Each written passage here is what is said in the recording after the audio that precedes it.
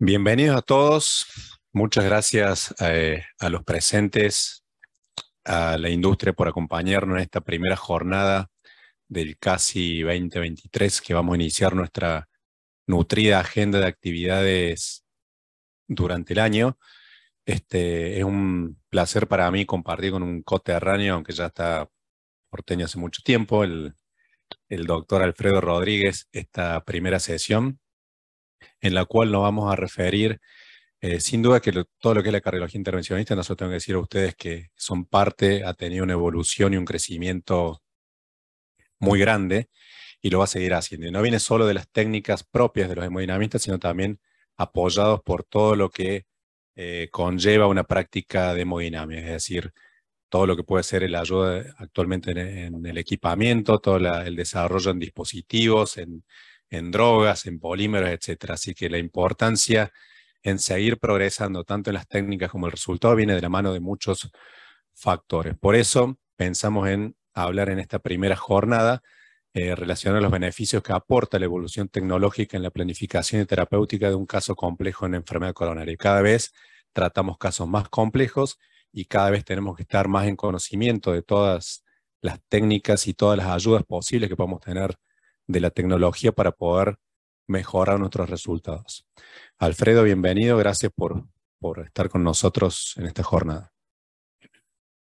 No, gracias a ustedes, al CASI, por venir. Siempre es un placer venir y colaborar con el CASI. Así que, Martín, si querés, vamos a, partir. Eh, está el doctor Alejandro Fernández, que todos los conocemos, es uno de los baluartes de hemodinamia, tiene un currículum muy extenso, pero es uno de los baluartes de hemodinamia del de, hospital italiano, que es uno de los servicios más activos acá en la Argentina y en la ciudad de Buenos Aires. Así que, Alejandro.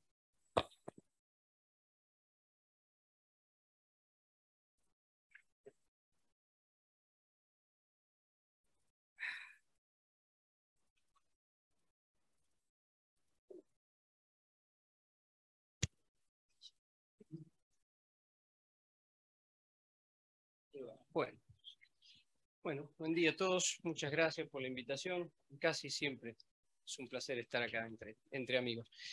Eh, bueno, la idea de hoy, lo que me, me, pidieron que hable es un poquito de cómo evolucionó, gracias al aporte de las imágenes, cómo, cómo fue evolucionando el, tratamiento de, la enfermedad coronaria. Así que vamos a hacer un poquito de, de raconto de, dónde venimos y, y, a dónde estamos y, y un poquito al final les voy a dar, nada, mi, visión personal de eh, hacia dónde creo que, va a ir la tecnología, que puede ser que sea cierto o no, pero veremos. Eh, en realidad, la, historia nuestra, digamos, o, la, historia de, lo que usamos todos los días, que son los rayos X, viene desde finales del siglo XIX, cuando este señor, que, es eh, Conrad Röntgen, descubre los rayos X eh, y se saca una, una, no una placa todavía, pero hace fluoroscopía de, su propia mano. Y así evolucionaron los, los, rayos X. Los primeros equipos de rayos eran equipos de fluoroscopía, donde el operador se irradiaba bastante, ¿no? El tubo de rayos estaba abajo y lo que tiene puesto el médico ahí no es otra cosa que una suerte de, careta con una eh, placa de, de flúor eh, que hacía que pudiera ver por radioscopía y se irradiaba bastante la cara. Hasta ese momento no se conocía el poder nocivo que tenían los rayos, pero eh, era fantástico poder ver mediante rayos X eh, las estructuras óseas en ese caso. Y los comienzos de lo que hacemos nosotros parten eh, de la década del 20. La primera angiografía que, se conoce la hizo un cirujano, en realidad era un neurocirujano, Egas Moniz, que le inyectó el ipiodol en la carótida a un paciente eh, para eh, contrastar y ver las, las, arterias del cerebro. En realidad en el neurocirujano lo que se dedicaba a hacer Moniz era, era cirugía de pacientes psiquiátricos, el primero que, describe la, la, lobotomía como tratamiento de, de la esquizofrenia. Después, gracias a este señor, que, que fue eh, que descubre el intensificador de imágenes, eh, son los comienzos de lo que va a ser el diagnóstico de la enfermedad vascular. Hasta acá, década del 50 nos focalizamos en nuestra especialidad, empezaban a hacer, a focalizarse puramente en el diagnóstico. Eh, por ahora, el diagnóstico de los grandes vasos y creíamos, o se creía en ese momento, que las coronarias no se podían contractar, que, si le poníamos contraste en la coronaria el paciente se iba a fibrilar y se iba a morir. Eso es lo que se creía, hasta que un día este señor Mason Sons en la Cleveland Clinic, haciendo un ortograma con, con un catéter eh, común, angiográfico común y corriente, el catéter se le metió dentro de la coronaria derecha, inyectó contraste en la coronaria derecha, este, y el paciente sobrevivió y pudo ver la coronaria, eh, y ahí nos dimos cuenta que podíamos inyectar contraste dentro de las coronarias. Pero seguíamos con la etapa diagnóstica. Hasta acá lo único que hacíamos era diagnóstico. Eh, la tecnología fue evolucionando a lo que ahora parece histórico. Empezamos a grabar las imágenes en película de 35 milímetros. Esto la mayoría de los jóvenes que están acá, si se lo deben haber contado, ninguno lo vio. Pero bueno, la, la se grababa en película de 35 milímetros y se reproducía en esta maquinita que en algún servicio a lo mejor la tienen en un museito que se llamaba Tagarno, eh, y era la manera en que podíamos ver el cine en ese momento, pero aunque les parezca mentira, el hecho de poder grabar las imágenes en cine es lo que revolucionó el diagnóstico para poder tener un registro gráfico de la imagen coronográfica en movimiento. Y recién en la década del 70 nuestra especialidad empieza a incursionar en la terapéutica. Hasta ahí veníamos siendo nada más que diagnóstico y en la década del 70 este señor, en el año 78, eh, hace la primera angioplastía. Las primeras angioplastías que se hicieron fueron periféricas y después eh, él mismo hizo la primera angioplastía coronaria en un balón, con un baloncito que él mismo lo armó en la cocina de su casa. ¿Cómo fue evolucionando esto? Eh, hasta ahí veníamos haciendo diagnóstico, veníamos haciendo terapéutica. En la década del 80 empiezan a aparecer algunos métodos adicionales de diagnóstico. Lo primero que aparece es esto que es la angioscopía. Eh, no era otra cosa que introducir un endoscopio de escaso calibre dentro de la coronaria y poder ver eh, la estructura de la pared vascular y la estructura de las placas.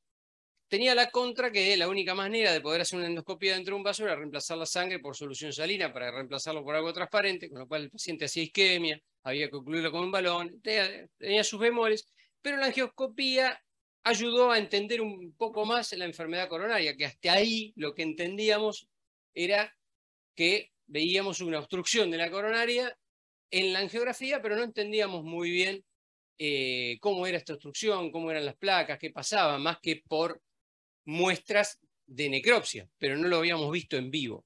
Eh, la angioscopía permitió entender un poco la diferencia entre placas con alto contenido lipídico, que se clasificaban en placas amarillas o blancas, de acuerdo si tenían mucho lípido, eran placas más fibrosas, y entender la presencia de trombo, trombo blanco, trombo rojo, todo eso se entendió y se aprendió con angioscopía. En la década del 90 empezaron a aparecer los angiógrafos que ya no grababan en película de 35 milímetros, sino que la imagen se digitalizaba. Y no digo que la imagen era digital, porque eso va a pasar después, sino que era imagen analógica, o sea, seguíamos dependiendo del intensificador de imágenes, de ese tacho eh, fluorado arriba del, eh, arriba del, del tubo de rayos X, y la imagen analógica la captaba el circuito de televisión y la digitalizaba. Eso mejoró la calidad de imagen y empezaron a aparecer métodos que nos ayudaron a optimizar el tratamiento. Aparecen los primeros registros de ultrasonido endovascular y la revolución que provoca el ultrasonido endovascular de la mano del doctor Colombo fue hacernos, enseñarnos a que había que optimizar el implante de stent. Ya en ese momento estábamos poniendo stent, pero los stent que poníamos para evitar que se trombosaban, lo dejábamos anticoagulados. Le dábamos warfarina y el paciente que le poníamos un stent quedaba anticoagulado, porque entendíamos que si no el stent se trombosaba. Cuando Colombo empieza a hacer los primeros estudios con ultrasonido endovascular, se da cuenta que dice, el muchacho, el problema es que al stent hay que impactarlo en la para que quede bien pegado a la pared. Lo que está pasando es que los stents no quedan bien impactados y bien pegados a la pared vascular y por eso trombosa. Y eso revoluciona el tratamiento porque gracias a la impactación del estén en alta presión y al hecho de dejar el estén bien aposicionado a la pared, eliminamos la anticoagulación y empezamos a dejar a los pacientes solamente antiagregados, no con clopidogrel, que para ustedes es cosa de todos los días, sino con ticlopidina, que era lo que teníamos en ese momento para darle a los pacientes junto con aspirina. Pero le sacamos la anticoagulación de la, de la ecuación y sacamos muchísimo, disminuimos muchísimo el riesgo de sangrado de los pacientes. Acá vamos a tiempos un poco más recientes. En eh, la década del 2000, en los años 2000, aparecen los primeros eh, equipos con detector plano. Esto quiere decir que la imagen ya deja de ser imagen analógica que la digitalizamos, sino que la imagen nace digital. Ya no hay más una pantalla florada, sino que el haz de rayos que atraviesa el paciente es captado por el detector plano y transformado en imagen directamente. Eso mejoró sustancialmente la calidad de imagen. El ultrasonido endovascular también se digitalizó. Y eso lo que nos permitió fue avanzar en el tratamiento de patología más compleja. Había muchas lesiones complejas que hasta ese momento quizá no nos animábamos a hacer, no nos animábamos a avanzar porque la calidad de imagen no era la óptima como para poder avanzar en eso. en estos tiempos aparecen también los estén liberadores de fármacos que fueron otra revolución en la terapéutica que nos abrió la puerta a decir, podemos tratar bifurcaciones, podemos tratar troncos, podemos tratar porque otras cosas más complejas porque sacamos de la ecuación el, fantasma de la restenosis. Y aparecen también algunos métodos digitales de optimización, como eh, el primero que lo describe, el, método de, optimización de stent, fue, fue Philips, es un método que lo patentó Philips, se llamaba STEMBoost. Ahora todas las marcas tienen su sistema de optimización. Eh, que lo que permite es poder ver el stent amplificado y darnos una idea de si el stent está o no está bien expandido.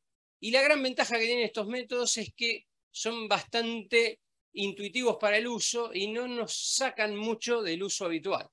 Eh, ¿Qué es lo que hace que un método termine siendo adoptado? Cuando un método es demasiado engorroso para poder ser llevado a cabo, el médico termina no adoptándolo. Si yo te digo que tenés que pasar dos cuerdas más, abrir siete catéteres más y el procedimiento que tardabas una hora va a tardar cuatro horas, es un método que no lo vas a terminar adaptando y lo vas a terminar tirando. Eh, el stent bus es nada más que apretar un botón y resaltar el stent y fue fácilmente adoptado. ¿Cómo fuimos avanzando después? Eh, después avanzamos a un mejor entendimiento de la enfermedad coronaria, o sea, volvimos a la etapa diagnóstica, si se quiere, a tratar de entender mejor la enfermedad coronaria a través de métodos de imágenes. Eh, el ultrasonido evolucionó a tener algoritmos para eh, detección de la escala de grises y poder hacer histología virtual aparecen los primeros eh, equipos de ultrasonido endovascular de alta definición y aparece este otro método de imagen endovascular que es eh, la tomografía de coherencia óptica. Todos estos métodos los que nos permitieron fue entender aún más profundamente qué pasaba dentro de la coronaria, porque nos permitió visualizar en vivo la coronaria, pero ya a nivel microscópico, no a nivel macroscópico como la veíamos con la angioscopía, sino ya podemos ver eh, a nivel con mucho más detalle cómo está compuesta la placa, cuál es la composición, si la placa está rota, si la placa está fracturada, como esta que estamos viendo en esta imagen de OCT y demás, y eso nos permitió guiar un poco mejor la terapéutica y el diagnóstico. Y después aparecen métodos que llevan a un concepto nuevo de optimización, porque ya en la optimización actual ya no hablamos solamente de optimización en el sentido de que un stent quede bien puesto, sino que empezamos a buscar optimización en los métodos en otro sentido, a tratar de usar menos contraste. Para esto sirven estos métodos de, de, road mapping en vivo, para hacer menos test y usar menos contraste, a bajar la cantidad de dosis eh, y también, por que no, a elegir mejor la terapéutica, los equipos de OCT fueron evolucionando, eh, aparece el corregistro, aparecen los equipos con corregistro que nos permite ir haciendo un registro de dónde fuimos captando cada imagen y en qué lugar de la coronaria geográficamente hicimos eh, el corte de, OCT como para poder ubicar la composición de la placa en ese sitio que vamos a tratar.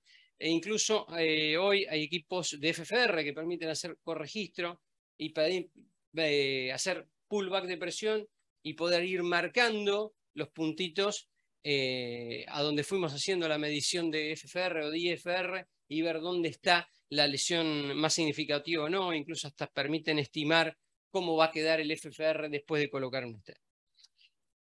¿Qué pienso que va a pasar o qué me parece que va a pasar? Creo que con todo esto lo que logramos fue ir optimizando la terapéutica en cuanto a usar menos contraste, implantar mejor los stents y que a los pacientes les vaya mejor por una mejor terapéutica. Pero eh, me parece que la, medicina en general y la cardiovascular también va a tener que apuntar o va a ir apuntando a esto. Eh, si ustedes se fijan, nosotros que hacemos cardiología intervencionista estamos tratando la principal causa de muerte en los Estados Unidos. Estas son las causas de muerte en Estados Unidos.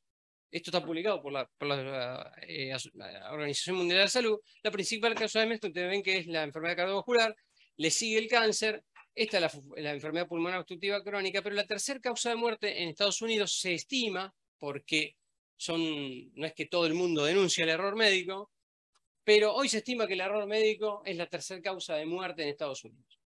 Eh, y me parece que un poco el, el avance tecnológico va a tener que ir a reducir esto, a reducir el error médico. Y me parece que los médicos no es que cometemos errores porque nos gusta cometer errores, sino que cometemos errores porque somos humanos y porque nos pasa algunas cosas que les pasan a todos los humanos. Eh, yo si tienen 30 segundos, los que conocen el video no spoileen, pero si tienen 30 segundos les voy a pedir que miren este videito y presten atención. Eh, el video no es médico, lo que van a ver son dos grupos de jugadoras de básquet que se están pasando una pelota y yo lo que le voy a pedir es que cuenten cuántas veces se pasan la pelota las jugadoras que tienen la camiseta blanca. ¿De acuerdo?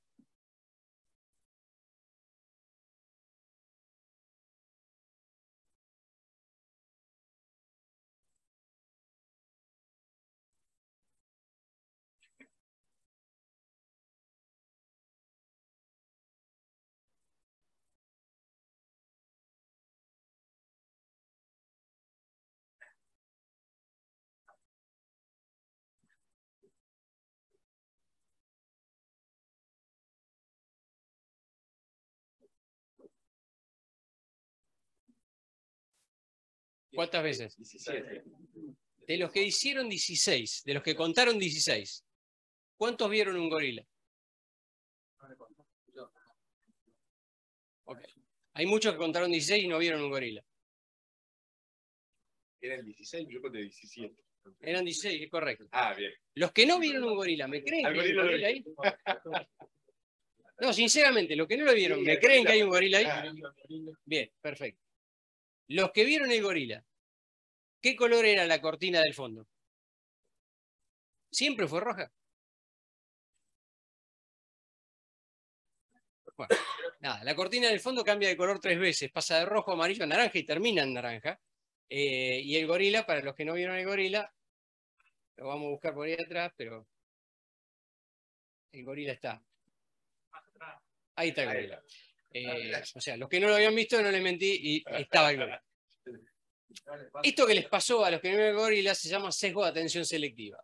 Esto en medicina nos pasa todo el tiempo. ¿Qué quiere decir? Cuando le estamos prestando atención a algo o a un punto de interés, lo mismo pasó con la cortina, en este caso era contar los pases, hay muchas cosas que se nos escapan. O sea, hay muchos gorilas que se nos escapan. Y a veces también nos pasa que podemos inventarnos un gorila. ¿Quién me lee lo que dice ahí? ¿Todos están de acuerdo que dice Ice Cream is good? No dice. O sea, que hay un montón, los que dijeron que dice Ice Cream is good inventaron un gorila que no estaba. Entonces, eh, lo mismo nos pasa cuando trabajamos todos los días y de ahí viene el hecho de que cometemos errores médicos, no porque nos gusta cometer errores, porque le prestamos atención a cosas que consideramos importantes y nos escapan otras, o nos inventamos gorilas que no están. Eh, para esto y para disminuir estos sesgos es que creo que va a aportar la inteligencia artificial en medicina y está aportando la inteligencia artificial en medicina. Eh, nosotros estamos haciendo, en, el hospital se están desarrollando algunos sistemas que todavía no tienen que ver con hemodinamia, el sistema que va a tener que ver con hemodinamia está en desarrollo, pero ya están cargados y funcionando en la historia clínica estos cuatro sistemitas, eh, que lo que hacen, por ejemplo, el sistema de, inteligencia artificial en placa de tórax, que se llama T-Rex, que es este que le estoy mostrando, esto es nada más que una página, una copia de página de la historia clínica del hospital, donde cuando un paciente saca una placa de tórax, le da la opción de seleccionar al médico si quiere que analice la placa, eh, el sistema de inteligencia artificial, y le marca su interpretación. La idea no es que el sistema reemplace al médico, sino que ayude al médico a ver si hay algo que se le escapó. Eh, y por otro lado, también el médico le puede dar feedback al sistema y decir, eh, lo que estás diciendo es incorrecto y no me sirve. Eh, los otros sistemas son, bueno, y uno que es para detectar la, edad radiológica con una placa de mano en chicos, y hay otro para densidades mamarias, y Valkyrie es un, sistema de detección de melanomas en, fotos de, lunares. Pero creo que mm, si para algo va a servir la inteligencia artificial, va a ser para eso, para disminuir el error médico y no para reemplazar a los médicos, no nos van a reemplazar, pero me parece que sí nos van a ayudar a, cometer menos errores. Nada más, gracias.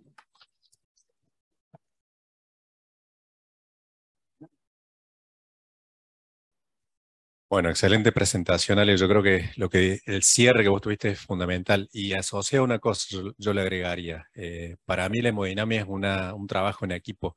Yo sé que por ahí quizás antiguamente siempre eh, estábamos o acostumbrados a trabajar quizás de a uno solo en una sala, y yo creo que muchas de las cosas o sesgos que vos marcaste, trabajando en equipo, este, nosotros estamos acostumbrados a ir dos a una urgencia, por más que quizás sea más difícil armar equipo así, pero se, disminuye mucho ese sesgo que vos decís que es real. Uno cuando está como primer operador está muy focalizado a veces en algo puntual y el contexto a veces nos queda un poquito lejos. Y lo que decías lo otro va a ser un, un desafío también el no acostumbrarse como médico eh, a que solo sea la inteligencia artificial lo que te aporta, sino siempre eh, dependiendo, tiene que estar dependiendo de lo que es el, concepto y el, médico como, como, racionalidad. Así que me parece que va a ser algo, algo fundamental. Sí. Eh, muy buena la charla de Alejandro. Lo más importante para mí para analizar un, es el, paciente. Analizarlo y verlo, que yo creo que todos los métodos esos nuevos que se han hecho es cuando vos conoces al paciente en la tabla del, cateterismo. Pero si vos lo has conocido mucho antes en tu práctica clínica y lo has analizado bien, eh, es lo más importante que hay.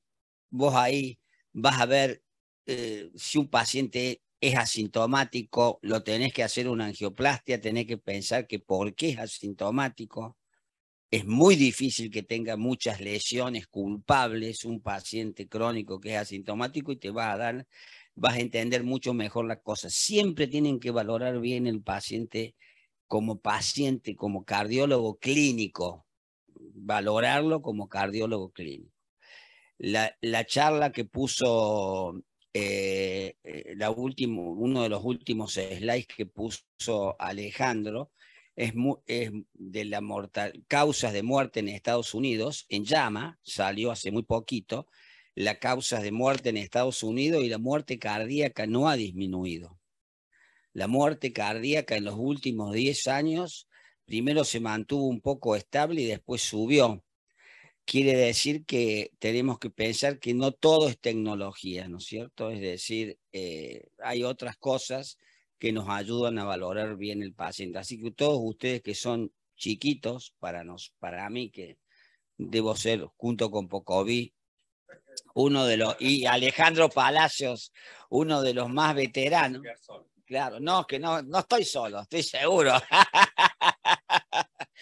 este, valoren al paciente en forma clínica. Valórenlo. ¿Eh? Bueno, ¿querés que pasemos al segundo? Eh, ahora va a haber un caso clínico de imágenes que facilitan la angioplastia coronaria. El doctor Alejandro Cherro, que tiene también un montón de, premios y de cosas. Vamos a hacer las presentaciones de todos los, lo- los casos, después contamos con un panel de expertos eh, que nos acompañan y ahí vamos a dar eh, apertura. Están el doctor eh, Ernesto Duarte, el doctor Sergio Lu- Ludueña, el doctor Sebastián Peralta y la doctora Alejandra Vega. Bueno, buenos días a todos. Quiero agradecer al colegio y el único conflicto de interés que tengo es que Phyllis me invitó también para la presentación de un caso clínico. Yo sele- seleccioné un caso clínico que me pareció eh, interesante mostrar, sobre todo porque a veces las cosas no salen como uno quiere. Eso hay que tratar de que sea la menor cantidad de veces posible, pero bueno, pasa. Entonces me pareció que era importante mostrarlo. Eh, es un paciente que consulta por dolor precordial típico, se interna con diagnóstico de síndrome coronario agudo sin sobreelevación del ST, tiene 55 años, 55 años, hipertenso, dislipémico, obeso. Eh, el paciente ingresa al, al hospital eh, con este electro, un, infarto anterior evolucionado, un infarto anteroceptal.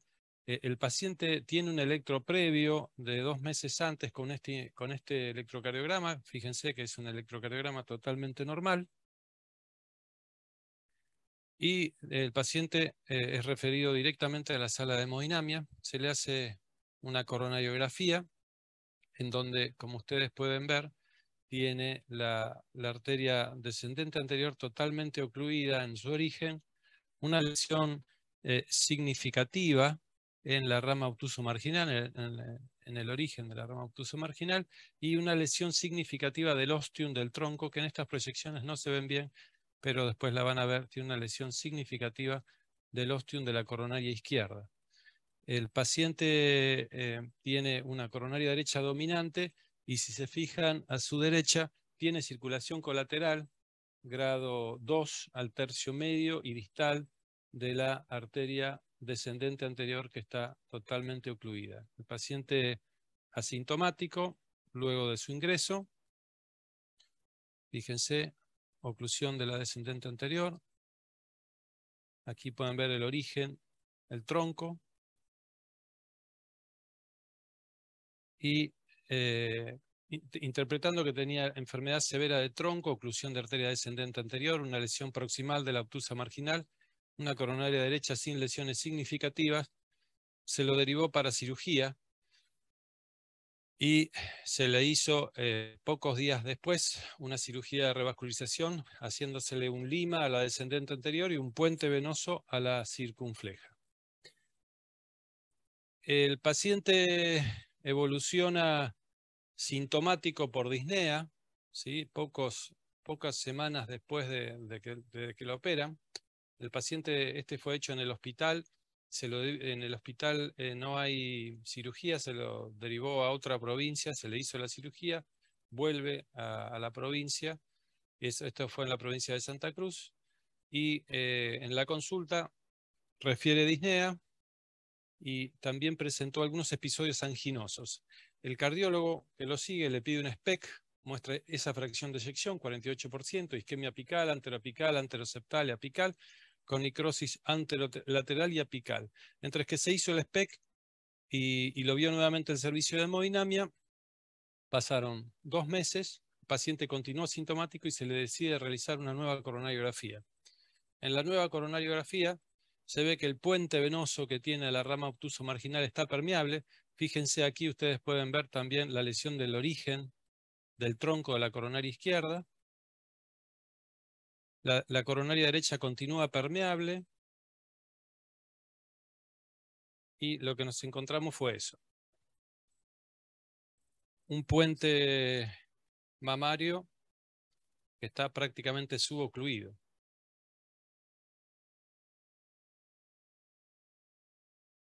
El origen del tronco de la coronaria izquierda, la de totalmente tapada, y el puente más importante, el de la descendente anterior, que estaba subocluida. Entonces, bueno, ¿cuál, ¿cuál sería la conducta a tomar? Y pensamos en ese momento que existían dos caminos. Por un lado, la angioplastia al bypass mamario, y por otro lado hacer lo que no hicimos antes, que es una angioplastia al tronco de la coronaria izquierda, eh, abrir la oclusión total de la arteria descendente anterior y tratar de revascularizar de este modo al paciente. Como el bypass mamario tenía mucho, eh, eh, mucho kinking proximal y distal, se pensó que lo mejor era hacer una angioplastia protegida, entre comillas, porque el puente estaba subocluido, eh, pero una, angioplastia eh, protegida al fin de tronco de coronaria izquierda y abrirle, intentar abrir la oclusión total de la arteria descendente anterior. Esto lo abrimos antes para que cargara, cargaba bien, pero bueno, van a tener que esperar que cargue y se vea bien. Fíjense, eh, lo que hicimos fue ayudarnos con una doble punción, se puso un catéter en la, mamaria, con eso se hizo la angioplastia de la descendente anterior y del tronco, fíjense la obstrucción del tronco, se pensó que lo mejor era ayudarnos con una arteriografía para poder recanalizar la arteria descendente anterior. Cada, cada, imagen va a cargar así, lamentablemente lo habíamos dejado abierto para que no pase. Fíjense aquí, se pudo lograr pasar a través de la descendente anterior, se pasó, perdón, de la, de la diagonal, de la arteria diagonal, luego se pasa a la arteria descendente anterior. Tiene que cargar y después lo pueden ver. Bueno, fíjense a la derecha. Ya, aquí ya se puso un stent en la rama diagonal que no estaba pensado. Cuando se abrió la descendente anterior se vio que la rama diagonal era grande y eh, había que revascularizarla también. Para, hacer estos procedimientos, cuando no tenemos iBus, eh, nos, es de mucha utilidad usar el stem bus y el, eh, como mostró Alejandro, y también usar el stem bus live para cuando tenemos que dilatar eh, stem y no queremos pasar al, al vaso y poder disecar el vaso que no está estenteado. Bueno, los pasos de la, aquí ya logramos pasar a la descendente anterior, ven las, dos cuerdas con dos balones, ya están, está abierta la diagonal, está abierta la descendente anterior, terminamos poniéndole un stent también en el tronco, se le pusieron tres stents en la descendente anterior, este es el resultado final, un stent en la diagonal, dos stents en la descendente anterior y un stent en el tronco, 3024, 3023, 3512 y un 2518 a la rama diagonal. El paciente se mantuvo asintomático, eh, quedó con doble antiagregación y seis meses después le hicimos un control angiográfico para poder presentarlo, si no, no se iba a poder ver cómo quedó. Y fíjense, seis meses después, a ver si podemos volver a la imagen, cómo está el tronco de la coronaria izquierda, cómo está la descendente anterior y cómo está la rama diagonal. Realmente el resultado seis meses después fue eh, realmente favorable, lo cual nos hizo pensar por qué mandamos al paciente a cirugía. Como herramientas, como mostró Alejandro, nos es de mucha utilidad usar el road mapping coronario, nos eh, facilita evitar en muchos pacientes que tienen función eh, renal alterada, en pacientes añosos, evitar mayores volúmenes de contraste. Y por otro lado, cuando no tenemos disponible el, el, IBUS, hay servicios que no tenemos IBUS, en, esos casos, fíjense la imagen de STEMBUS, cómo se ve ahí el STEM eh, que, no, no, está totalmente desplegado. Entonces, eh, aquí ustedes pueden evitar una trombosis con, esta herramienta, no ven la aposición del stent. No, se puede ver la, la, posición en la pared, pero sí se puede ver la expansión del stent. Una subexpansión con el balón la pueden perfectamente mejorar. Y eh, el stent bus es algo que también utilizamos, sustraído, para poder expandir el stent sin eh, tocar la arteria que no, que no tiene prótesis, que no tiene stent. La imagen, otra de, las posibilidades que tenemos con esta tecnología, que es muy simple, como dijo Alejandro, lo simple uno lo usa todos los días, es poder ver cuando vamos a, posicionar dos stents, no hacer un overlap que sea eh, eh, que, estén muy superpuestos con, mucha área ambos estén, sino que podemos eh, superponerlos en un, en un, corto trayecto sin correr el riesgo de dejar un gap no cubierto. Así que bueno, son dos elementos que el equipo nos da la posibilidad de tener. Muchas gracias.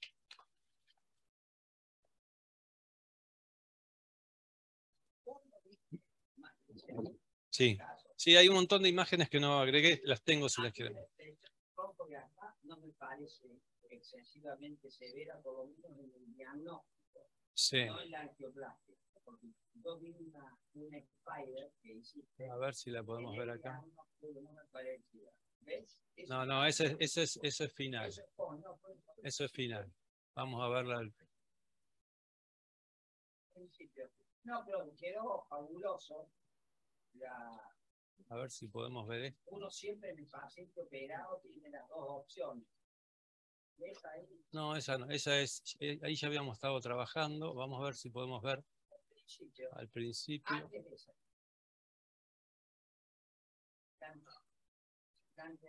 Ahí, fíjate los tunes. Esa es la que más se ve, sí. Tiene dampeo de presiones, tiene todo. Esto, bueno, pero se ve también en Spider. ¿eh? les puedo asegurar que el origen era muy severo. Mira, pero se ve mejor en otra proyección, se ve mejor. Ahí, mírala ahí. Ahí se ve bien el osteo. Esto es, esto es basal de la angioplastia. Este es el basal de la angioplastia. Sí. Dos opciones. la opción de ponerle un, en la mamaria distal, en ese caso vos usarías un solo stent, o, que pasa siempre, o eh, a tratarle toda la descendente anterior, como lo hizo mm, Cherro, y que quedó fantástica desde el punto de vista técnico, quedó 10 puntos. Lo que pasa que si uno ve, eh, el mamario era, como decía Cherro, muy difícil, porque tenía mucho kinking, pero pónganle que ahora yo pregunto, si no tenía kinking, ¿qué haríamos? ¿Qué harían ustedes? Ponele que no tenía kinking. ¿Ustedes irían, les pregunto, irían directamente a tratar la mamaria o irían o le tratarían toda la descendente anterior tal cual se hizo? El problema con la mamaria muchas veces en ese sector es que puede ser un error técnico que tiene que ver con la, con la estructura también, ¿no? Y a veces es muy complicado y sabemos lo que nos metemos cuando se empieza a romper una mamaria hacia atrás, no terminás hasta la, la subclavia. Y a veces es muy difícil de abrir eso. Pero sería importante también eh, escuchar la opinión de los panelistas, a ver qué, hubiesen hecho, porque es un caso sumamente interesante. No sé, Ernesto, Sergio, Sebastián, Alejandra, ¿quién quiere hacer alguna, alguna opinión? Sí, sí. Buena, buenos, buenos, buenos días. Este, yo soy Ernesto Duarte Misiones. Sí, a mí me parece también eh, que el caso es interesante por, por dos motivos. La técnica o la dificultad técnica para hacer la angioplastia de la mamaria.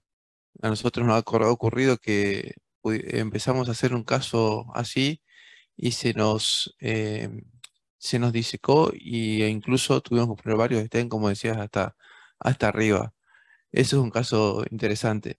Y hacer también eh, técnicas para mejorar la, angioplastia, como decía, ahí es interesante, obviamente no lo tenía Alejandro, pero ver el tronco, me dijiste que pusiste un, un stent de 3.0, ¿no? Ah, 3.5. Por el tema del diámetro del tronco, de delimitar realmente cuánto es el, tronco, técnicas también del stent bus, obviamente es muy bueno para no eh, overlapear tantos stent. Eh, y yo lo había hecho igual, digamos, o sea, trataría, lo que sí, en este caso, eh, la, descendente anterior tiene un capa en vivo, ¿no? Está un poco difícil, no sé cómo, con qué cuerda habías pasado, si pasaste con una cuerda un poco pesada, de punta pesada o...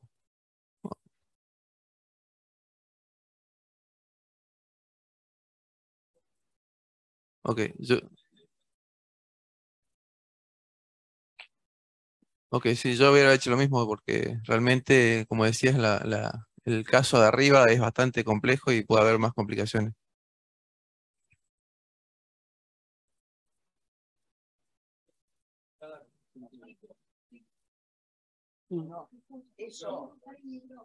Una cosa que es cierta, eh, e- esto sucedió muy rápido después de la cirugía. Esto es un tema técnico, 100%.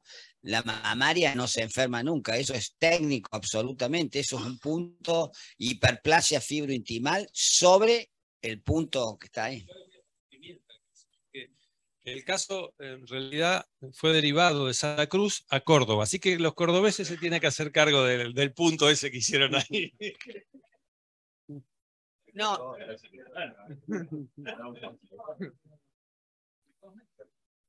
Eh, levántate, querido. Te podés levantar. Si me van a tener- si me van a- Tienen que respetar, tienen que respetar las caras y algunos pelos que me quedan. Este, no, yo lo que quería decir es que teniendo este, la mamaria, que está bien que tiene una obstrucción muy severa, y también todos pensamos que es un tema técnico, este, finalmente tenés un tronco protegido. Y arreglando el tronco, vos le vas a arreglar el tronco y vas a poder mejorar también el flujo de la circunfleja. Así que yo estoy de acuerdo con lo que, con, con lo que se hizo en ese sentido. Me parece que pasar por, esa, por ese rulo, por ese king que tiene la mamaria, este, grandes chances de que, se, de que se tape y si es un tema técnico, bueno, va a ser más difícil de abrirlo. Y, este, y teniendo la mamaria que finalmente le daba flujo a la descendente anterior, este, uno trabaja con un tronco protegido, digamos, porque lo puede, este, puede proceder a dilatar el tronco, es la descendente anterior, es decir, mejora el flujo de la circunfleja y demás. Así que me parece que el caso estuvo muy bueno. bien resuelto. Alguien, gracias. ¿Alguien hubiera, hubiera Alejandro, ido eh, por la arteria mamaria? Eh, buenas, ¿cómo les va? Yo soy el doctor Sergio Ludueña. Eh, excelente resolución angiográfica. Eh, yo acá, y en función de lo que dijo el doctor Rodríguez con respecto al ostium del tronco, valorizo mucho, yo no lo tengo, pero y los servicios que, que lo tienen, realmente hubiera, hubiera sido un lindo caso para hacer un interrogatorio con IBUS pre y post. So- eh, para ver el ostium del No, tronco este es el resultado final. y el, la, eh, se hizo técnica de dos stent en la, en la bifurcación de A diagonal. Este, generalmente eh, ustedes cuando terminan un caso así con esta complejidad utilizan IBUS o UCT. No, en este caso, en el hospital no hay IBUS hasta el momento. Eh, esto fue hecho en el hospital.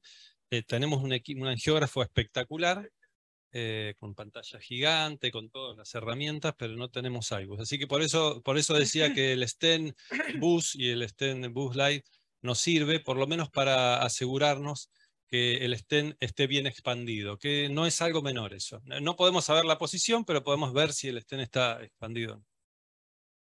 El bus, eh, eh, las técnicas de implantación angiográfica con los dispositivos estos son fabulosos. Cuando uno va a hacer, ¿qué edad tiene este paciente? Por, por eso es- este paciente es un tipo joven. Eh, y si uno ve el análisis de muerte total a 10 años en pacientes que tienen múltiples estén puestos, la mortalidad es 47%, 50%. Es decir, si uno lee los estudios randomizados y ve el seguimiento de los pacientes que uno le pone 80 milímetros, 70 o 60 milímetros de stent, te caes de cabeza. Eso, eso tenemos que tener en cuenta. Una cosa es que me llenen de stent a un señor como yo, que puedo, si vivo 10 años más, estoy fenómeno, pero otra cosa es un señor de 55 años. Eso está escrito, publicado y hay varios trabajos, es decir, hay montones de trabajos, no es uno solo. Así que es cuestión de leerlos. Eso es mi único concern cuando uno va a optar de decir, este caso es diferente porque técnicamente era muy difícil la, la cosa. Eh, es muy difícil, además el, el riesgo de disección, a mí me pasó una disección hasta arriba que lo llené de estén con Jan Turco Rubin a la mamaria. Pero bueno, uno siempre tiene que pensar en, en, el, en el contexto global del paciente, no solo en el resultado angiográfico agudo. ¿Me entiende que siempre es cuando técnicamente uno es una persona habilidosa como Alejandro, vas a obtener este resultado fantástico?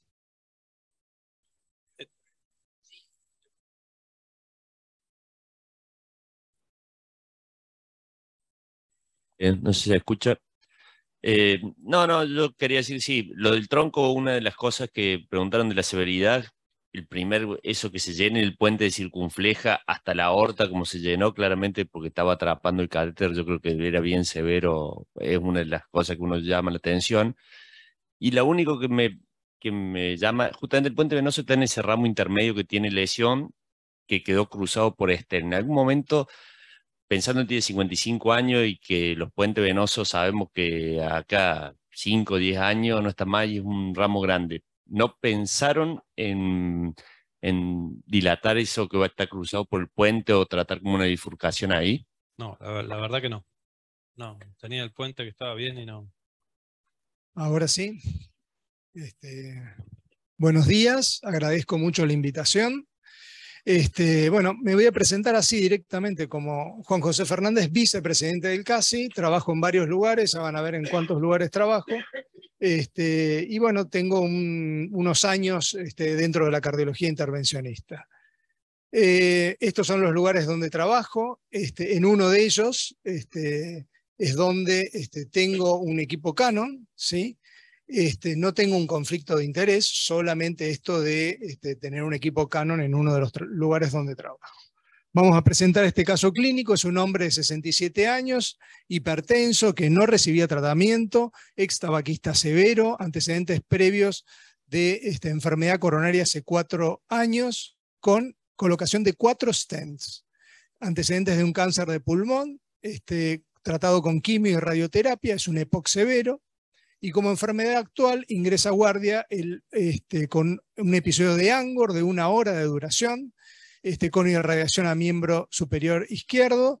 Este, cuando ingresó a unidad coronaria ingresó hipertenso también, sin insuficiencia cardíaca y con una troponina positiva. Se le hace infusión de nitroglicerina, cede parcialmente el dolor, mejora su hipertensión arterial, se le agrega clopidogrel, aspirina y bisoprolor, eh, se ve en el electro una ligera rectificación del ST en cara inferior, es lo único este, eléctrico que se ve, y eh, se hace dentro de las primeras 24 horas una coronariografía, este, lo cuento, ya lo van a ver, en la coronariografía este, se eh, destaca que tenía obstrucción este, de tres vasos, obstrucción de la arteria coronaria derecha, obstrucción de tronco este, de coronaria izquierda, Así que con esto, este, inicialmente este, valoramos el cuadro como síndrome coronario agudo sin supra-LST con lesiones de múltiples vasos. Esto nos da un Euroscore de 3,67, un Logistic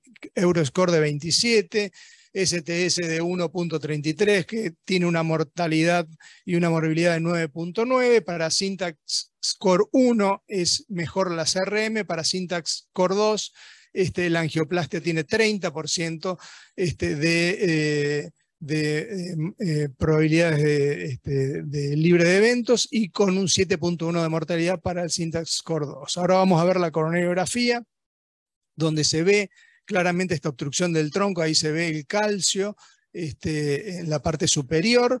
Eh, tenía un stent a nivel de descendente anterior que se ve aquí este, más desplegado este, por la derecha, donde no presenta obstrucción. Acá lo vemos este, en otra proyección. La obstrucción de tronco acá parece no verse. Sí se ve claramente la obstrucción de eh, circunfleja eh, de eh, una rama AB pequeña y de una rama lateroventricular de un 90%. Y acá en esta proyección en oblicuo izquierda también se ve la obstrucción de tronco de coronaria izquierda.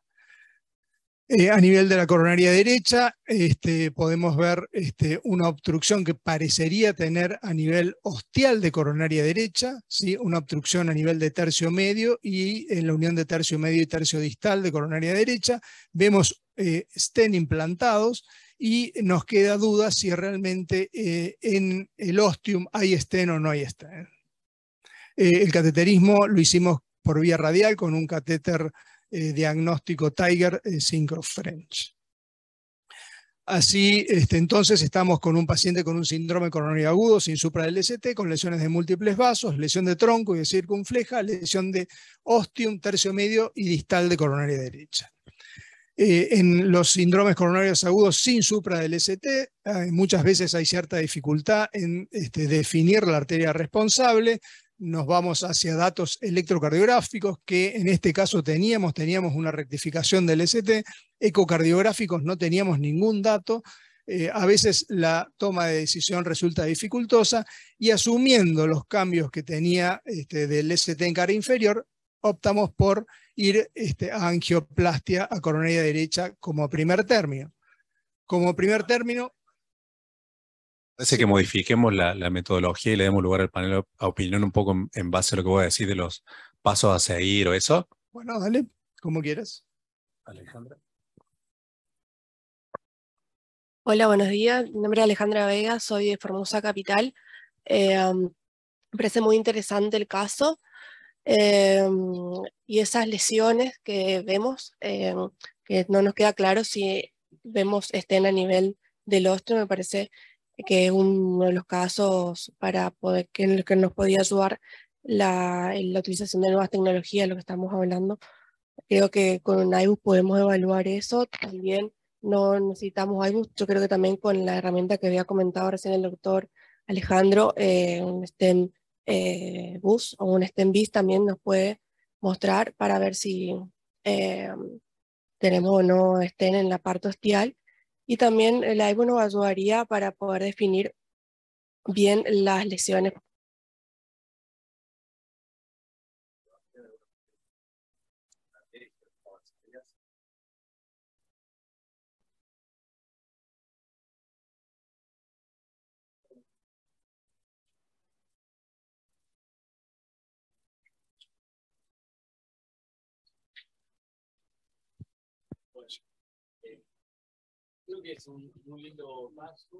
Muy, muy interesante.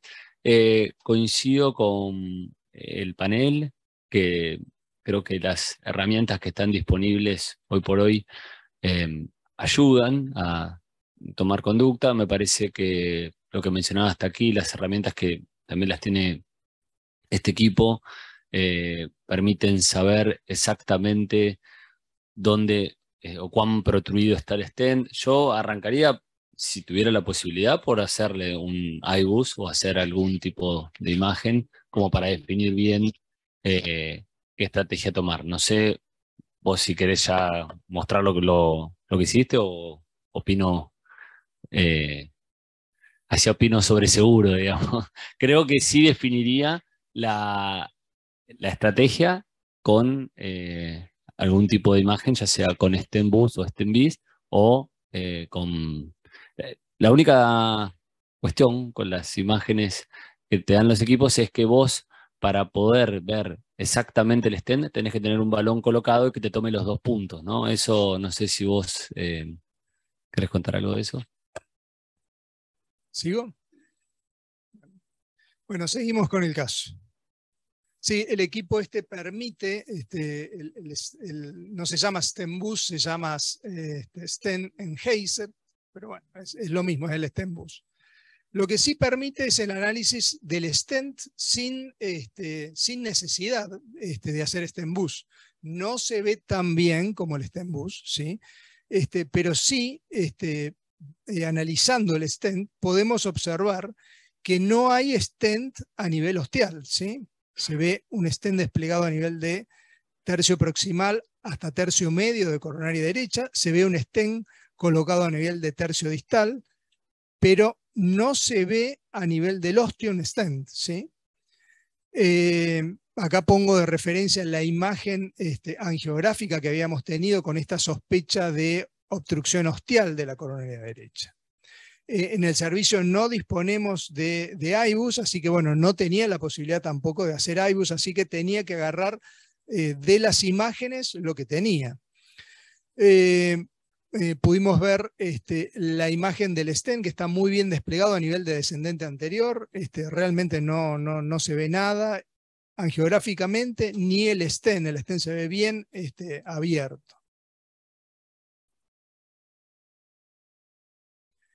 Entonces, bueno, procedimos a hacer angioplastia a la arteria coronaria derecha. Este, puse esta imagen que es importante. Utilizamos un catéter guía de Say French Launcher este, de la firma Medtronic y sobre él avanzamos ya que había esta obstrucción a nivel ostial y era muy difícil el pasaje de la cuerda, un, este, un sistema Mother and Child este, que es el catéter Telescope. Bueno, en el mercado, por lo menos que yo conozca, está el Telescope y el Guidezilla, ¿sí? este, son unos ayudantes muy importantes este, de la angioplastia coronaria, ya que este, cuando no tenemos buen apoyo, colocar este tipo de catéter, que uno lo coloca como si fuese un balón, realmente este, uno puede ir más a distal, tanto en coronaria derecha, en eh, circunflejas, en descendentes anteriores, donde el apoyo no es tan bueno. El único tip este, con este tipo de catéter, este, ya sea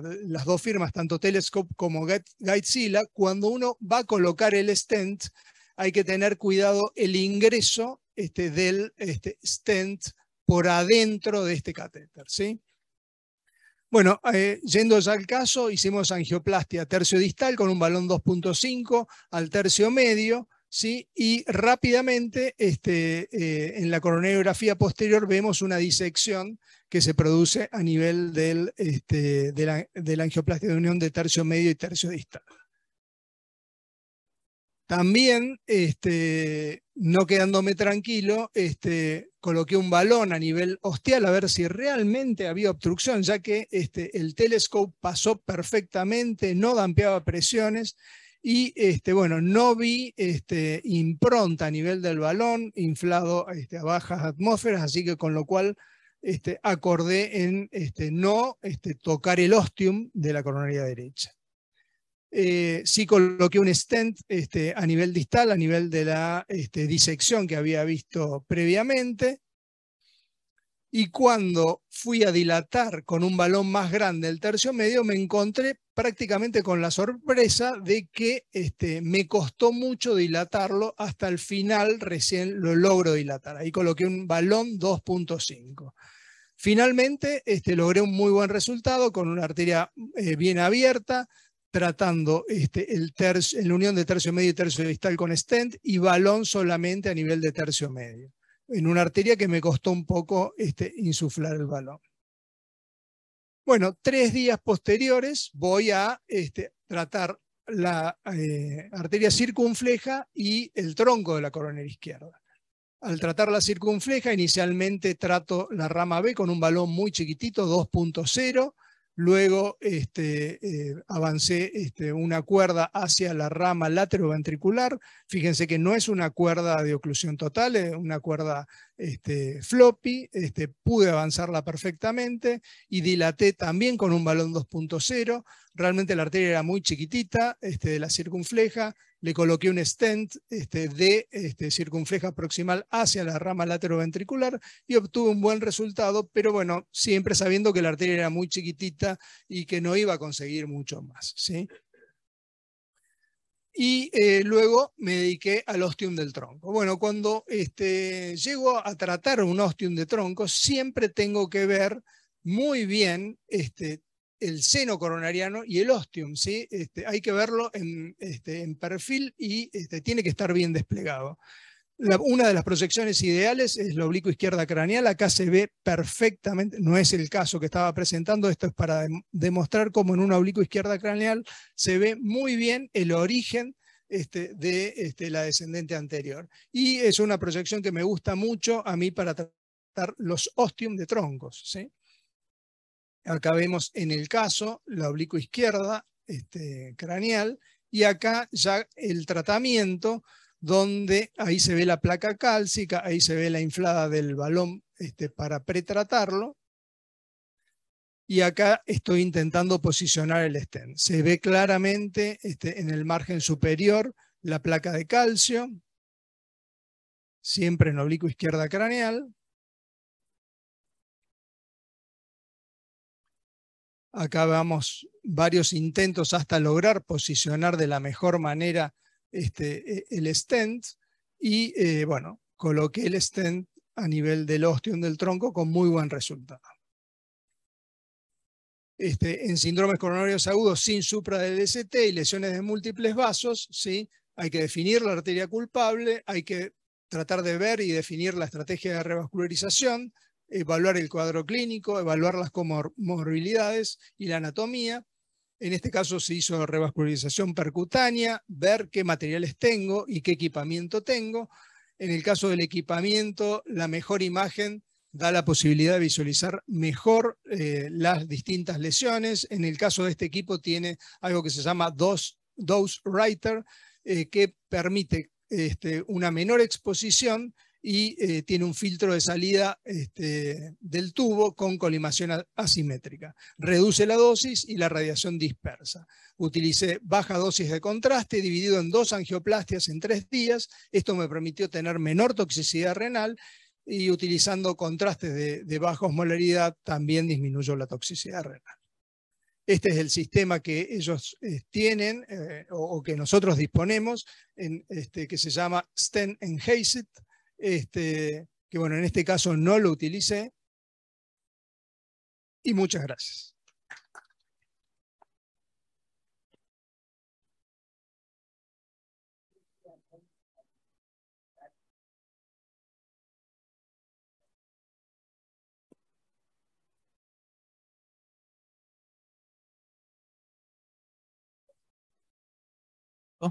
Eh, la, pregunta mía, o mejor dicho, para hablar un poco del tema de la coronaria derecha, en un instante cuando hacía un diagnóstico me parece que, o sea, yo inicialmente me parecía como que no tenía lesión del ostión. Em, interesante saber cuando pasaste también el catéter, lo has dicho, que no tenía dampeo, que eso es algo importante para, observar. Eh, eso es un punto. A veces, eh, a veces hacer un buen diagnóstico me parece que es también interesante cuando uno tiene dudas no salir de la sala hasta no tener un diagnóstico certero. Y el tema es tocar el ostium eh, con un balón. si uno tiene una placa, por más que sea moderada, estamos lesionando y activando un proceso, me parece, de aterosclerosis. Por un lado. Y en el tema del tronco, que me parece excelente también la resolución, eh, ¿Ocupás eh, cépalo para hacer eh, del tronco generalmente o no? ¿Cómo? La cuerda cépalo. Hacer en el, la técnica, perdón. O la técnica de cépalo. Eh, generalmente nosotros utilizamos siempre para hacer el ostium del tronco, eh, para tratar de no llevarlo al tronco muy distal hacia el, hacia el seno coronariano. no, no, no, no. Este, yo trato de trabajar este, en oblicuo izquierda craneal este, y bueno, de esa manera tratar de posicionarme de la mejor manera. ver bien este, me permite este, realmente poder colocar el, el de la mejor manera. Bueno, muy buena la resolución. Eh, yo me quiero detener en un punto. Eh, para mí, la placa culpable evidentemente era la coronaria derecha, eh, por la que empezaste. Y si no lo hubieras podido expandir bien al estén con balón de alta presión, ¿hubiera sido una alternativa el shotware? ¿Hubiera sido alguna alternativa el tema de este, si te queda subexpandido y vos lo ves, este, que, que pasás, muchas veces hemos hecho de pasar dos balones de alta presión, insuflarlo para ver sobre todo cuando queda alguna espícula de calcio, cuando queda algo, ¿te hubiera sido alguna una alternativa esa? Eh, sí, la verdad que este, nos, nos, fue una sorpresa, ¿no? Porque como vieron, dilaté con un balón 2.5, las dos lesiones, inicialmente bien, y cuando fui a dilatar con un balón más grande, porque me parecía que la arteria era más grande, y le iba a dejar solamente con balón, me encontré como sorpresa este, una obstrucción que me costó mucho dilatarla. Sí, este, concuerdo con vos que si realmente este, esa arteria no quedaba bien, el paso siguiente hubiese sido shockwave. Este, eh, no, en ese momento no lo tenía y no lo pensé en ese momento porque este, me, agarró como sorpresa este, eh, la arteria a nivel del tercio medio.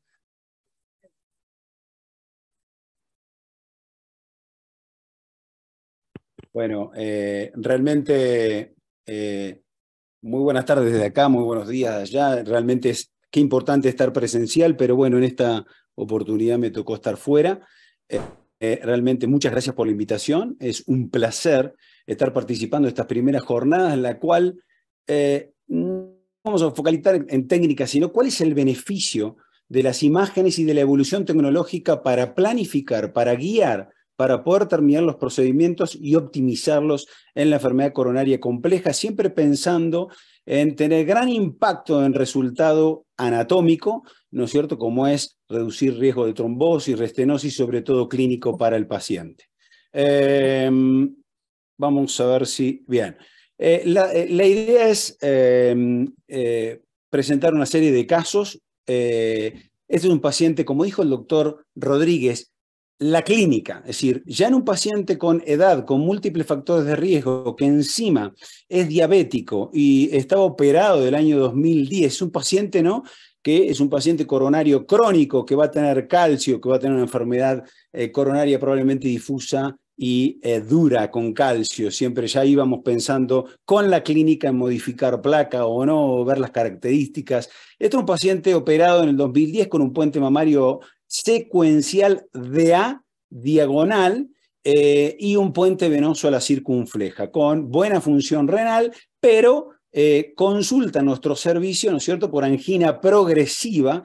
en el eco tiene una estenosis valvular aórtica severa ¿eh? y tiene un ecoestrés, era así, como era sintomática, para ver si era un verdadero asintomático o un problema coronario, le hacen un ecoestrés donde hace desnivel del ST a baja carga y se queda la cara anterior.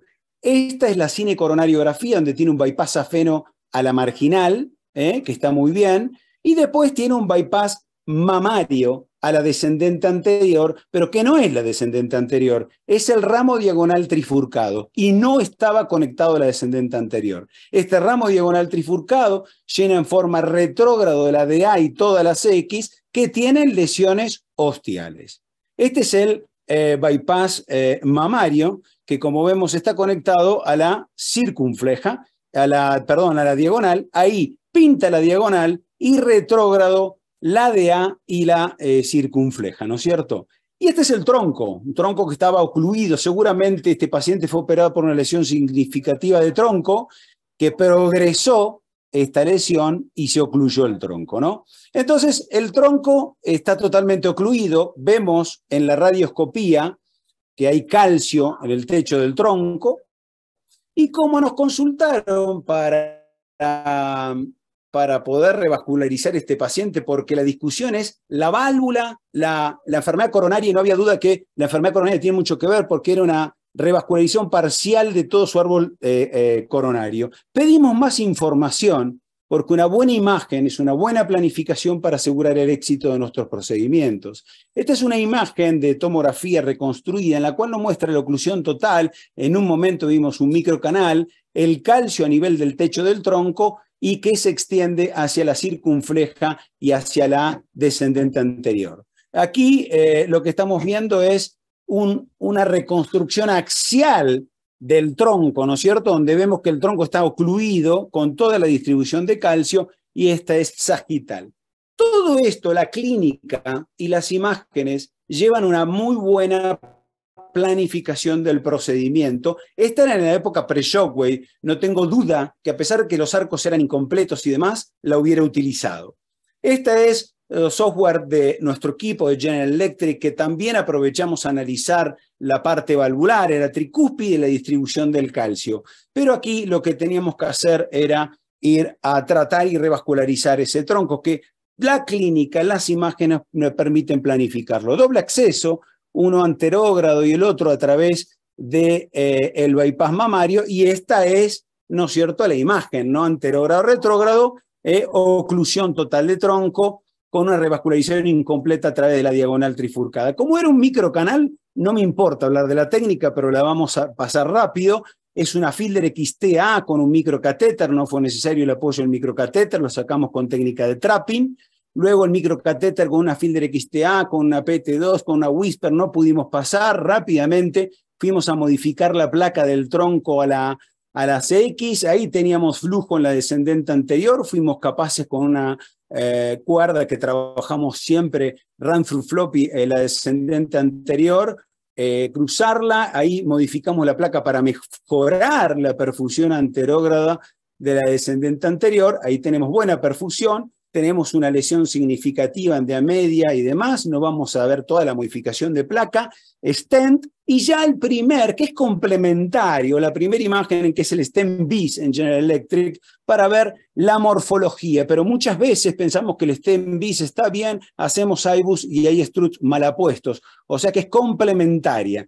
Luego fuimos a hacer IBUS, por supuesto, y a interrogar toda la arteria, que no voy a pasar al RAM por cuestiones de tiempo, pero sí eh, la lesión severa de la eh, DA eh, proximal, la lesión severa de la DA ostial, ¿qué vaso? Por estimación visual era 3,5 y esto era un vaso de 4,15,5, ¿no? La lesión ostial de la descendente anterior.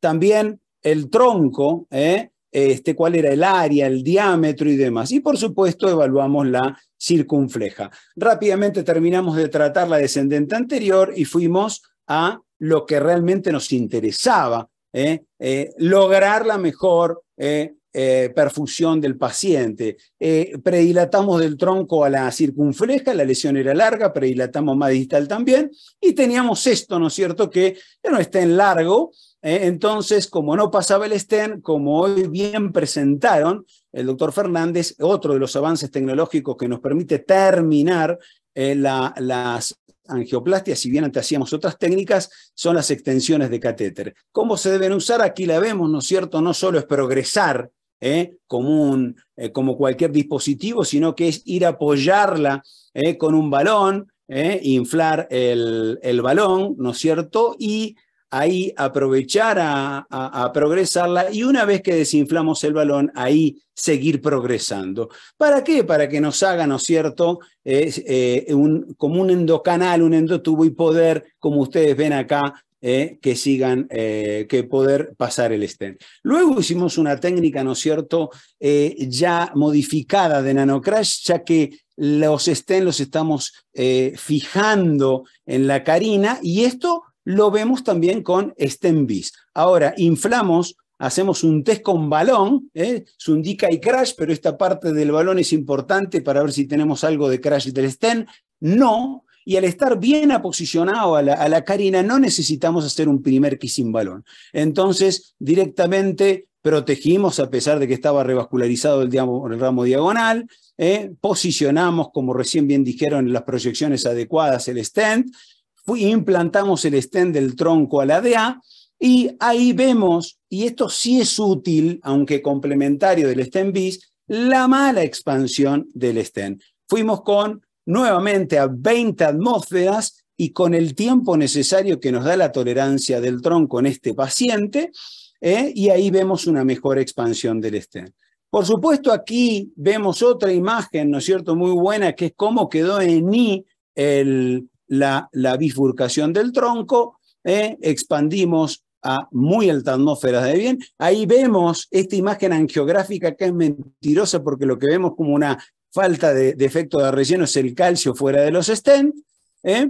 Retiramos la guía y esto es, una finalidad del POT, ¿no? facilitar el recruce a través de de, de, la, de la guía para realizar un eh, una apertura de los struts hacia la circunfleja con un balón de dos y un kissing secuencial con balones 1-1 no compliantes a altas atmósferas para luego hacer un kissing a seis atmósferas con el objetivo de centralizar la carina. Es otra información que nos da el STEMBIS. ¿eh? Acá hacemos el pot final, corroboramos con el STEMBIS, perfecto. Ahí vemos cómo está más expandido el tronco que el resto por el concepto de conicidad de las bifurcaciones y hacemos IBUS a la DA para controlar la buena expansión, eh, aposición y como vemos también eh, que es fundamental las áreas, ¿no es cierto? ¿Eh? Acá estamos en la confluencia, en la circunfleja y la descendente anterior, fundamental tener buena expansión, buena posición, buena área, ¿eh? que van a predecir buenos resultados anatómicos en términos de eh, baja riesgo de mm, bajo riesgo, ¿no es cierto?, de, de, restenosis y trombosis. Áreas finales, fundamental, cómo estar estén en cuanto a expansión, a posición, áreas. Este es el resultado final, buena revascularización eh, anterógrado, se pinta hasta retrógrado el stent eh, mamario y vemos que, muy buena revascularización, y vemos que si pintamos el stent, el bypass mamario, solo se pinta la eh, diagonal. Un segundo caso es un paciente joven que, como decía el doctor Rodríguez, ¿no? La clínica es joven, eh, con factor de riesgo no diabético, placas blandas, un síndrome eh, coronario agudo.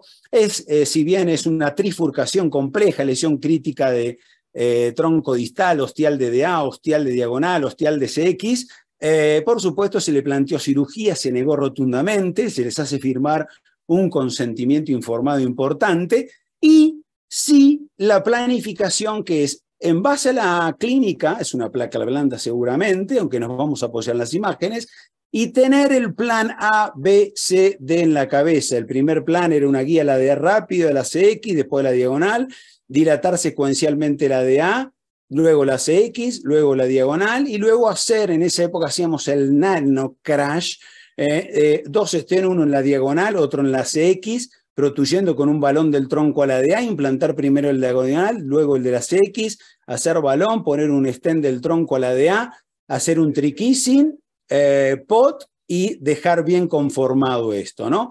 Entonces ahí están las guías, ahí está el del tronco a la DA predilatado, del tronco a la CX, del tronco a la diagonal, área, diámetro, característica de la placa, CX lo mismo, para ir más rápido fue QCA en la diagonal. Ahí tenemos los stents, no voy a ir paso a paso con la técnica, pero el primer stent en la diagonal, mínimamente protuyendo en la DA. Eh, hacemos test y estaba bien, eh, implantamos stent de la CX, y, eh, dilatamos un balón del tronco a la DA, implantamos el stent en la DA, sin pot, y esta es la imagen final. Pero el objetivo de, este, de esta jornada es esto, esta es la imagen final, pero lo importante fue esto. Angiografía, IBUS y STEM-BIS. Y para correlacionarla, esto es una imagen muy bonita porque no solo son las áreas finales, no solo la buena expansión y oposición, sino cómo quedaron las carinas, si están centralizadas, que lo vemos muy bien en el IBUS, la primera carina de la, de, la diagonal de la DA, la segunda de la DA y la eh, circunfleja, y también con la Acá vemos una hermosa imagen de lo que es un mini crash doble, ¿eh? en una trifurcación de, este, eh, que ahí está en negrito, ¿eh? que es la superposición de las capas de metal. Para finalizar, y esto es ya con toda la tecnología y experiencia en un paciente de 72 años con angina progresiva, diabético, clínica, nos permite planificar. Pero venía con estas imágenes, ¿no? Y eh, con isquemia en cara anterior, angina progresiva. Ahí vemos una descendente anterior con mucho calcio, eh, calcio de ambos lados de la pared, eh, calcificación severa, y ahí la lesión de bifurcación con una lesión crítica y con un calcio que se extiende de hacia la DA y a la diagonal. Fundamental esta reconstrucción ya que teníamos, porque miren los arcos completos de calcio y de gran espesor, ¿no? Entonces, también, si no tenemos tomografía, también con la angiografía, esto es, hacemos una adquisición y vemos calcio en todo el ciclo cardíaco, sin la inyección, en ambos lados de la pared arterial coronaria, calcificación resevera. Lo primero que vamos a hacer es pensar en modificación de placa seguro. Esta es la angiografía. Ahí pasamos dos guías. Ahí está eh, habíamos predilatado en un momento balones que no dilatan bien. ¿Y por qué? Por estos arcos, ¿no es cierto? Sobre todo estos arcos completos que logramos dilatar algo, pero en forma insuficiente.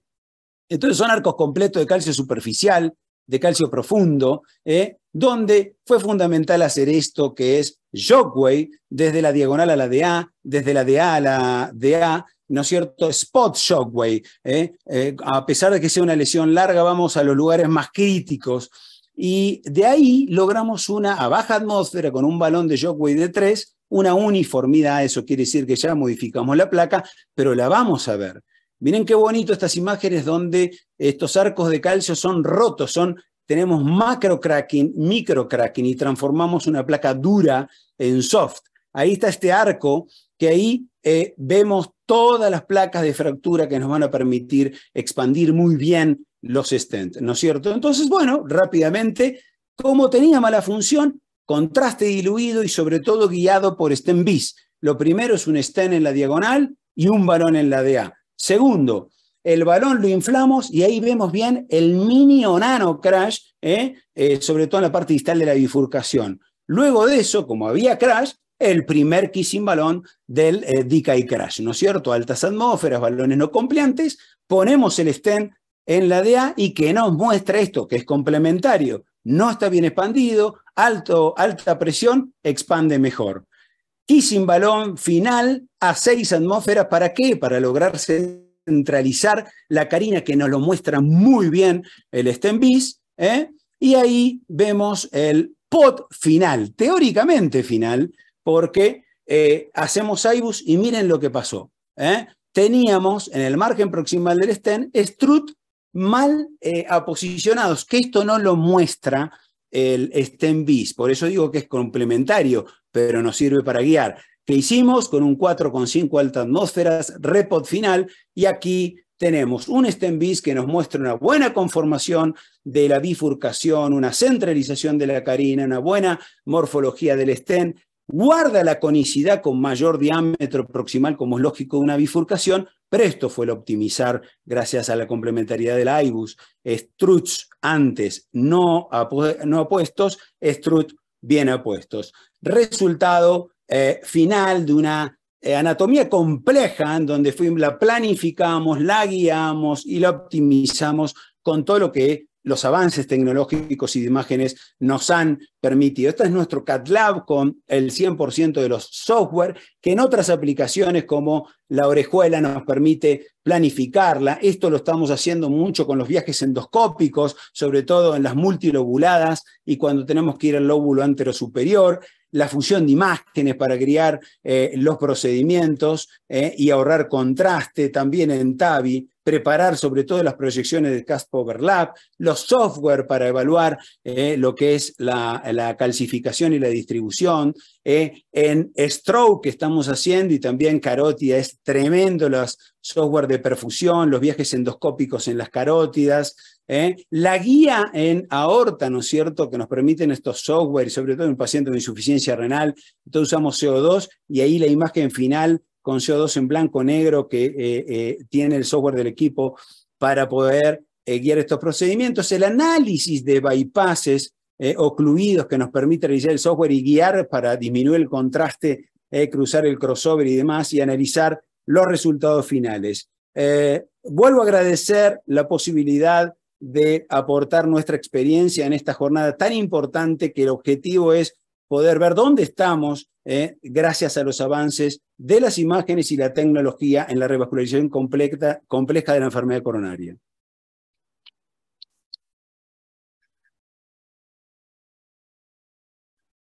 Bueno, felicitaciones. Un caso, los tres casos buenísimos. Eh, el primer caso con el mamario da pena ver lo que es la cirugía en algunos lugares, ¿no? Y acá en Capital Federal tenemos casos también, porque es un, una mamaria gigante, una descendente anterior gigante, que el señor seguramente con una mamaria la descendente anterior bien puesta, el late outcome sería muy, muy bueno y terminan poniéndole la mamaria en cualquier otro lado.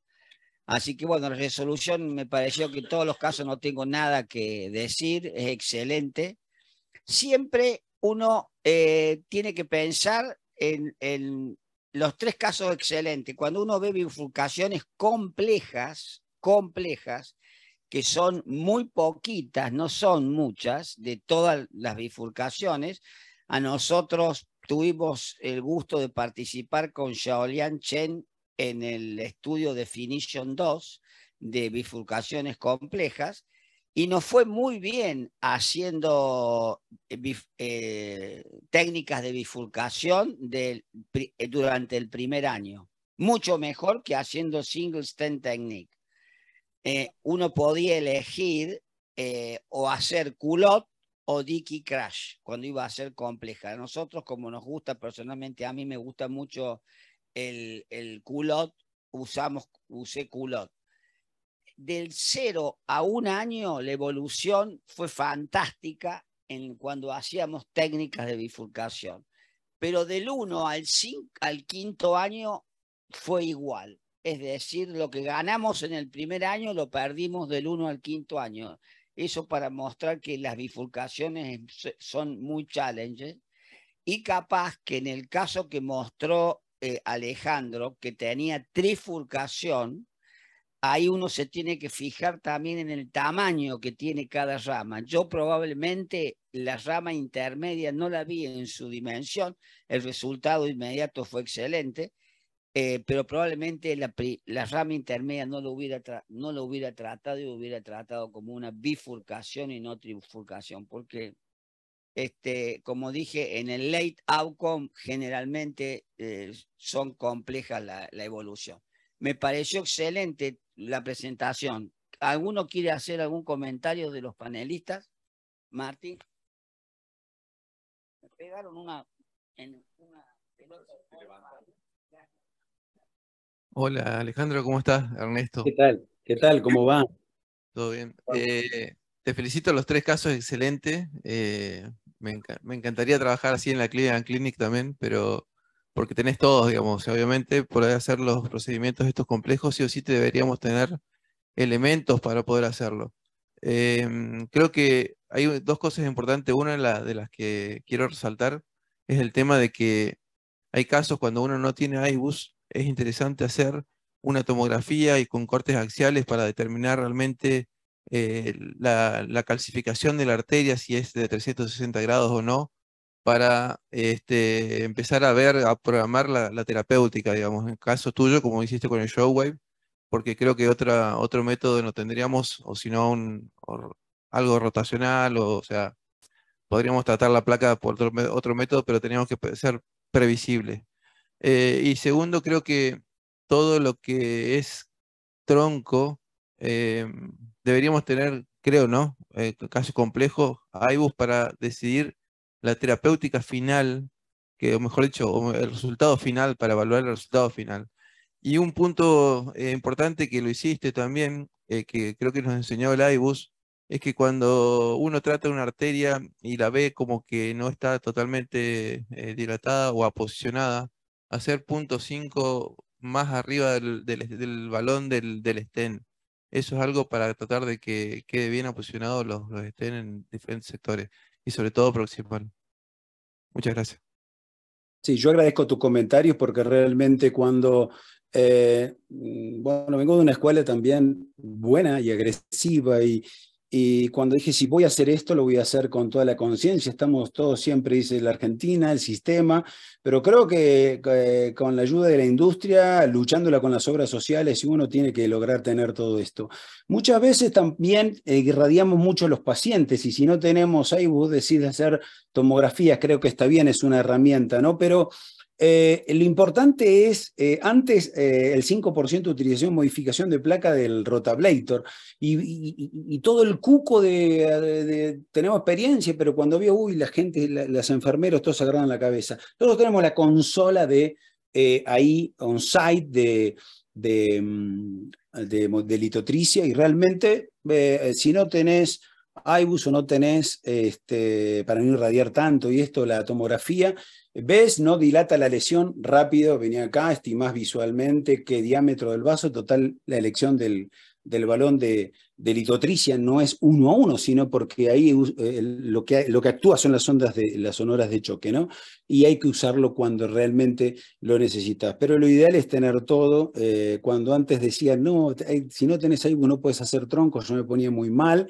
En realidad me llevé muchas sorpresas de la importancia del IBUS, pero bueno, uno se va adaptando este, a cada lugar. Y para finalizar, es verdad que uno trata de eh, no poner estén en todas las ramas, pero cuando vos, como eh, para contestarle al doctor Rodríguez, tenés una rama que es una diagonal, que es gorda porque es 275, que irriga un gran amount, una gran cantidad de miocardio y tiene una lesión crítica, crítica del 99%, es prácticamente imposible no poner stent. Por eso Eh, eh, por, eso eh, hice esa trifurcación con los tres extensinos, uno no va a poner estén por poner, ¿no? Este, nuevamente, me tengo que ir, muchas gracias por esta oportunidad y les mando un saludo muy grande a todos.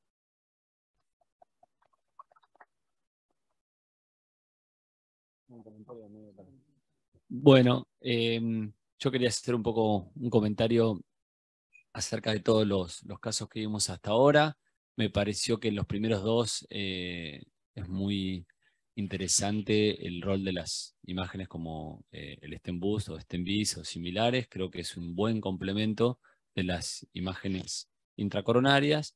Em, son varios escenarios diferentes, todos muy complejos, tanto los del doctor Álvarez Llorio como los de los speakers que lo precedieron. Me parece importante destacar dos o tres conceptos que se mencionaron a lo largo de estos eh, casos, que es eh, respecto a la utilidad de las imágenes intracoronarias, cómo complementan a este tipo de herramientas que traen los equipos hoy por hoy. Puntualmente con el IBUS hay varios em, escenarios clínicos donde tiene mayor utilidad, como todos mencionaron recién, tronco o bifurcaciones. Eh, creo que en la etapa previa eh, al implante del stent le da mayor precisión para caracterizar este tipo de lesiones que veíamos, la cantidad de calcio, eh, definiendo la característica de la placa, qué estrategia nos permitiría llevar adelante el paciente, porque hay veces que uno se encuentra con sorpresas, no todo lo que se ve en la angiografía se ve en el IBUS y viceversa, y eh, a su vez en el post-implante nos permite ver las áreas, concepto muy importante que transmitió el doctor recién, tanto en tronco como en arterias proximales, eh, cómo quedan eh, los estratos superpuestos, las carinas, ver el, landing zone, dónde cayó el stent, qué cantidad de placa residual hay tanto a nivel proximal como distal. Son todos parámetros de precisión que nos ayudan a tener un mejor pronóstico, sobre todo en pacientes que están muy enfermos, pero que son jóvenes y que sabemos que en el futuro los vamos a tener que reintervenir. Respecto a las eh, estrategias de modificación de placa o de acceso de placas em, eh, complejas, está muy bien utilizar herramientas como los eh, extensores de guía, me parece que el Shockwave y el Rotablator o cualquier litotricia o cualquier rotacional em, se complementan, hay diferentes escenarios donde cada uno tiene su utilidad, muchas veces en este tipo de lesiones donde están trifurcadas, el balón eh, o la atrectomía rotacional no es posible, eh, en tanto que cuando el calcio es muy esférico y el balón no tiene buen perfil y no pasa, eso ayuda mucho. Nosotros lo hemos usado en varios eh, casos combinando ambos métodos. Bueno, no sé si alguien quiere agregar algo más. Yo quería agregar a lo que acaba de decir el doctor, que teniendo en cuenta todas las nuevas aplicaciones que tenemos, todas las nuevas tecnologías, tanto como para preparación de la placa como el shockwave o el rotacional y todas las imágenes que nos dan la posibilidad de hacer la evaluación pre y post procedimiento, tener en cuenta también justamente la edad de los pacientes y el no encapsular a un paciente, bueno, este paciente va a cirugía, este paciente va angioplastia, parece que tenemos todas las posibilidades y las herramientas cada vez mayor número y en, mayores en más centros para poder realizar muy buenas angioplastias en pacientes. Nosotros logramos, por ejemplo, en un momento con un equipo de cirugía cardiovascular, decir, bueno, en este momento nosotros con esta lesión y a este paciente determinado vamos a hacer una angioplastia. Y posteriormente sabemos que acá en 5, 10, 15 años va a llegar una cirugía de revascularización miocárdica. Entonces, por ahí no encapsularnos, decir, no, este paciente va para cirugía, este paciente va para angioplastia, sino utilizar todas estas herramientas, evaluar en conjunto al paciente y ver, eh, hacer una planificación específica. Me parece que todo es, tanto el LIVE el OCT y toda la tecnología como eh, la Rotablator o eh, Shockwave son muy importantes para ir mejorando todo lo que es nuestra práctica diaria. Sergio, un comentario cortito, ya estamos en tiempo de la siguiente presentación. Sí, este, Martín, más que comentario, una pregunta a los expertos. Eh, en estas bifurcaciones distales de tronco compleja, hoy está de moda el Shotway, también hay que ver este, el tema de que necesita una insuflación durante 25, 30 segundos y la tolerabilidad hemodinámica del paciente. Eh, elección, eh, ¿en qué, cuándo eligen rota o cuándo eligen este, el shotway? ¿Cuál, eh, ¿Por cuál se inclinarían? dependiendo de qué características anatómicas, angiográficas, de IBUS,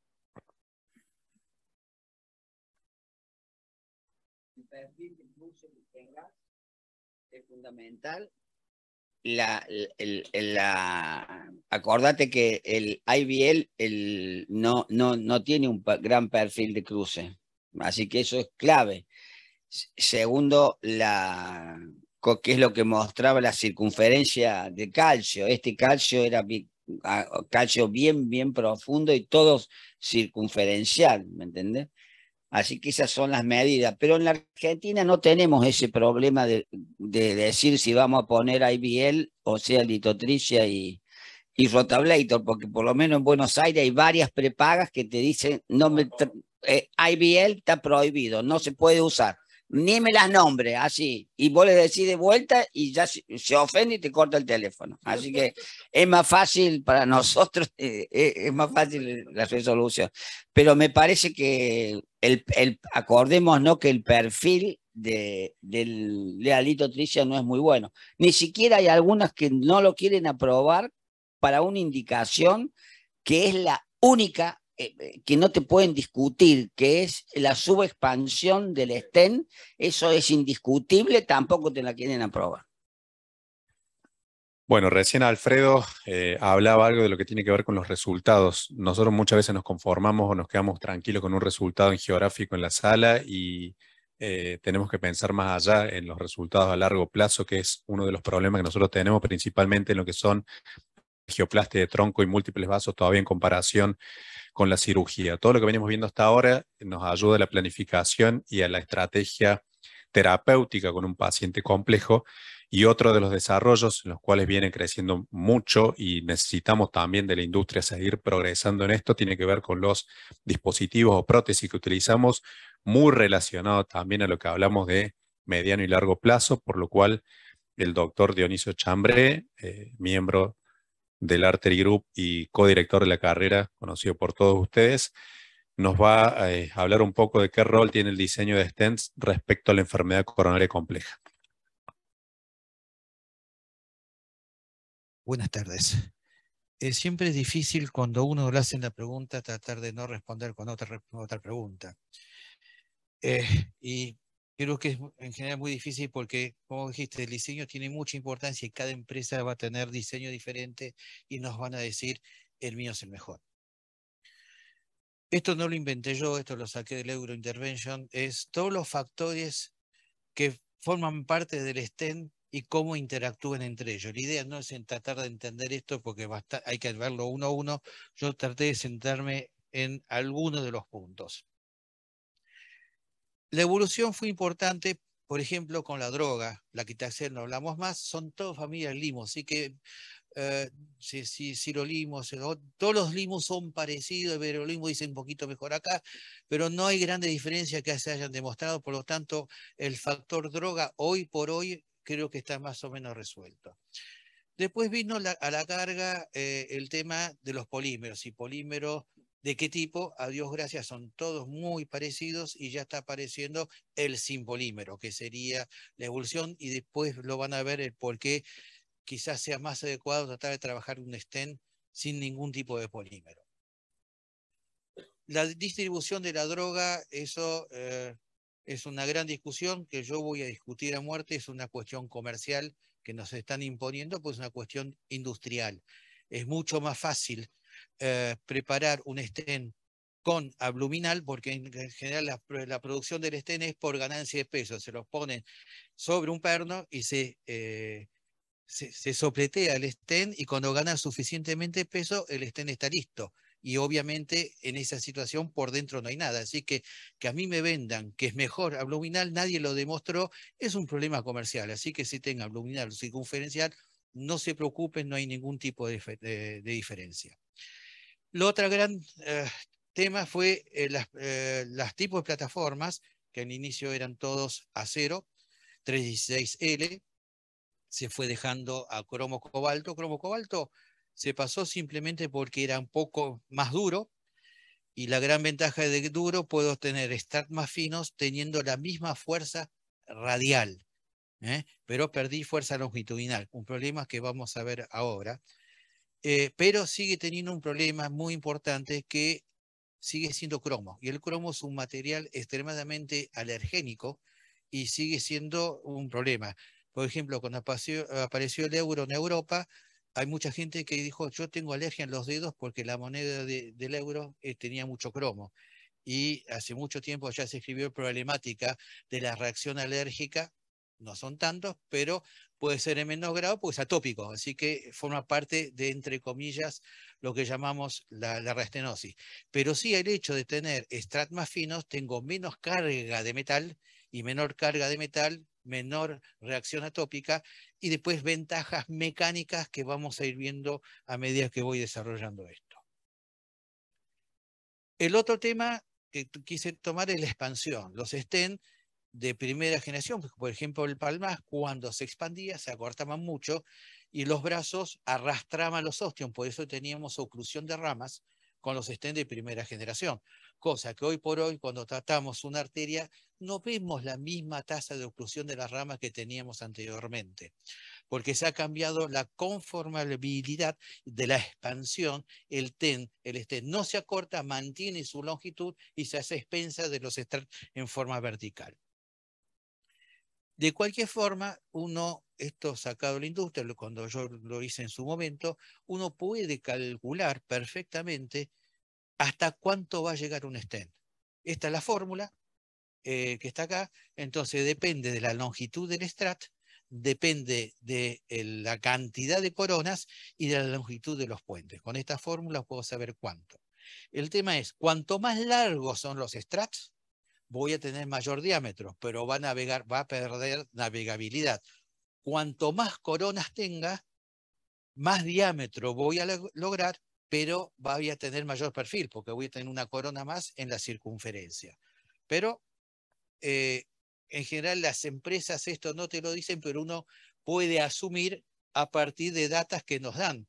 Esto también, es decir, esto no es que un médico se dedicó a medirlo uno por uno. Esto yo, me hace el stent, lo medimos y sabemos lo que ocurre. Y van a ver que cuanto más corona tiene, más se va a expandir.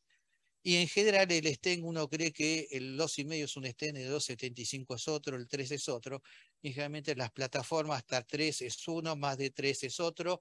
Y en general todos los Sten se pueden expandir por lo menos un milímetro más de lo que dice el chart. Es decir, que uno puede tener esta tranquilidad absoluta. No se va, pero tienen que poner un límite. Como el balón, digo, no te pases de 22 si uno llega a 24, 26 y no tiene ese problema. Son límites comerciales muchas veces. Es decir, hay que leer cuántas coronas tiene y van a saber hasta dónde va a expandir este stent. Cuanto más coronas, más expande. A veces el diseño del stent coronario es el mismo que el periférico. La única diferencia es que va a tener más corona y por lo tanto va a lograr un mayor diámetro.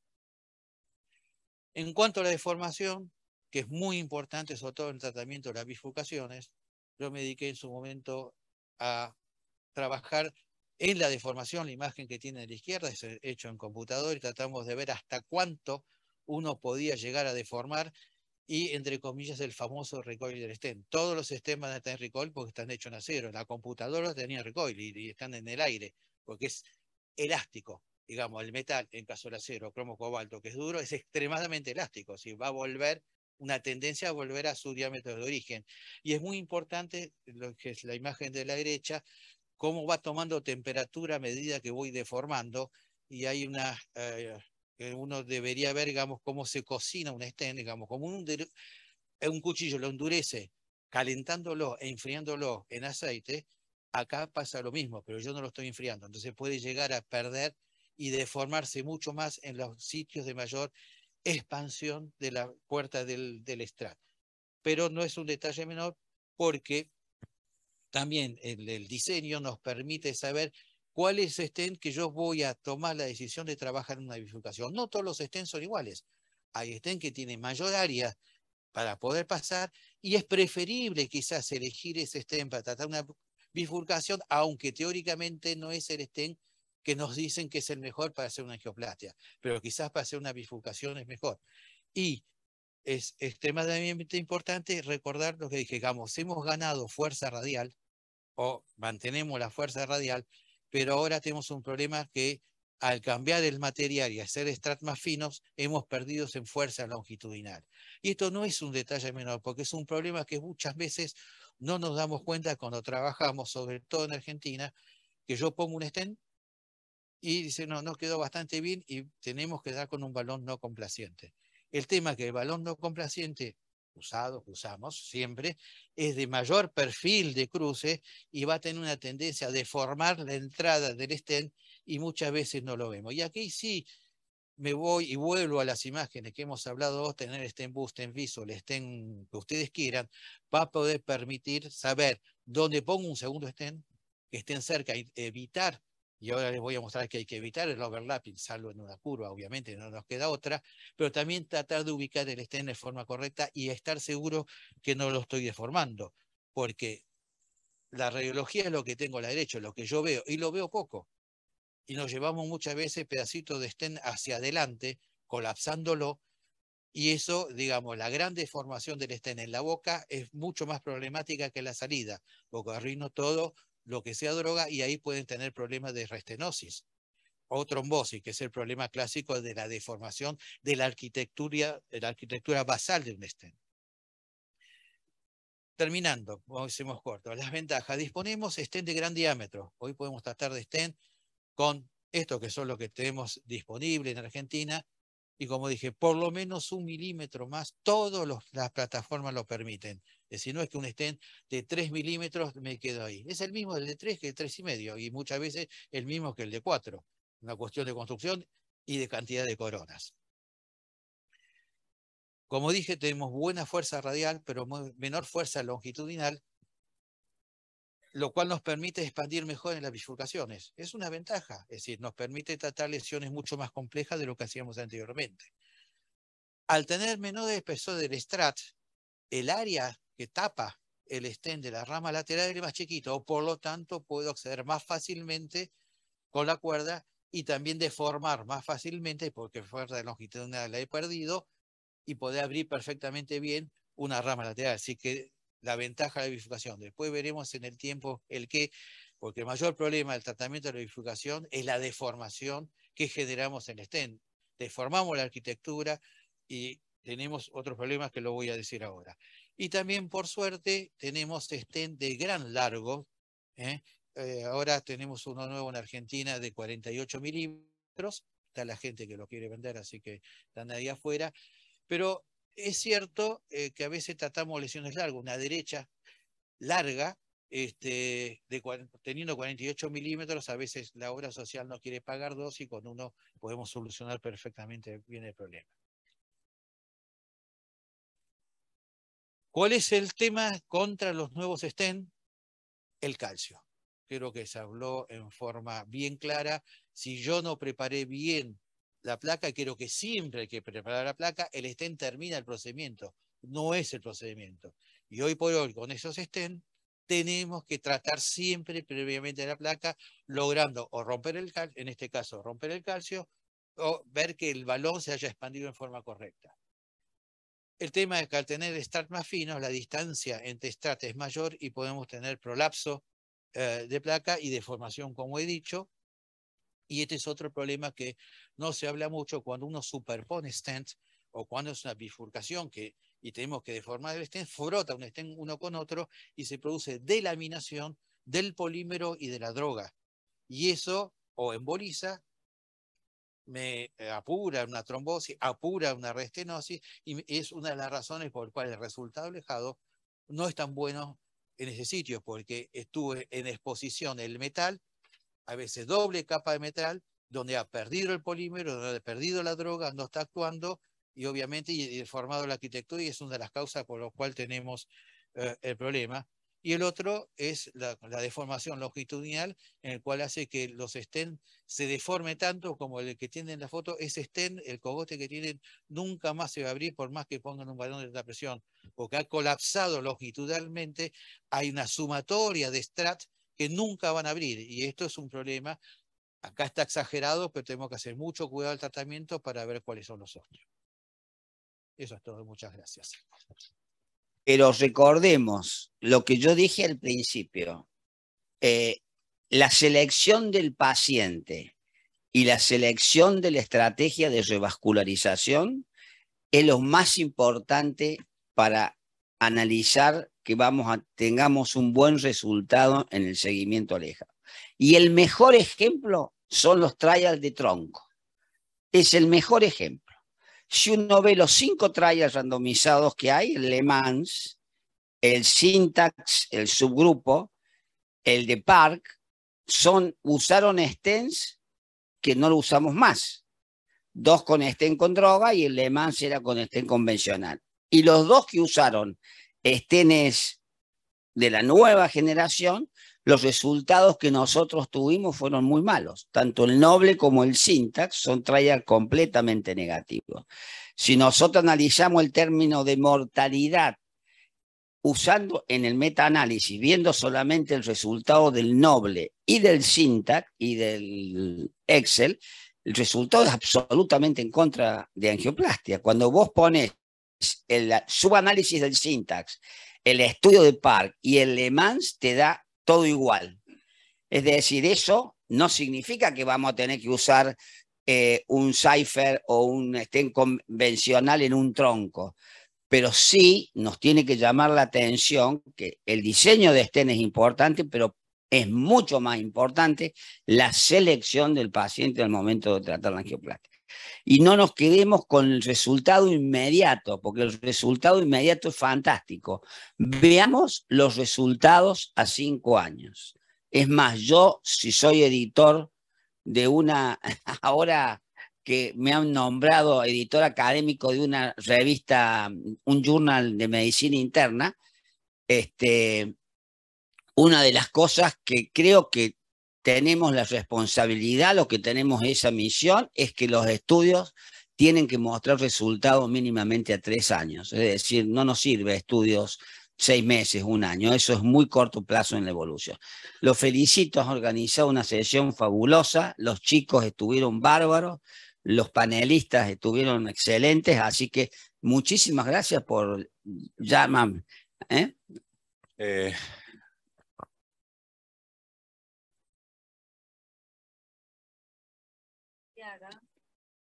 ¿Qué dice, doctor? Me saluda. Él eh, pregunta, eh, les pregunto, saludos a todos cordiales, ¿qué tanto porcentaje se puede presentar de disección de coronario, coronaria perdón, asociado a la preparación de la placa de calcio en los diferentes dispositivos dispuestos para esto? Ale, se disecan todos al inicio, pero bueno, si querés contestar, eh, Ale Fernández, vos tenés mucha experiencia en, a ver, la pregunta es ¿qué, qué tan frecuente se ve disección. Entiendo, es qué tan frecuente se ve disección con distintos métodos. A ver, disección vas a ver con todos los métodos. Si tengo que ponerlo en, eh, una placa cálcica en, orden de frecuencia, cuando tratás de romper una placa cálcica con balón a alta presión, lo más probable es que vea disección.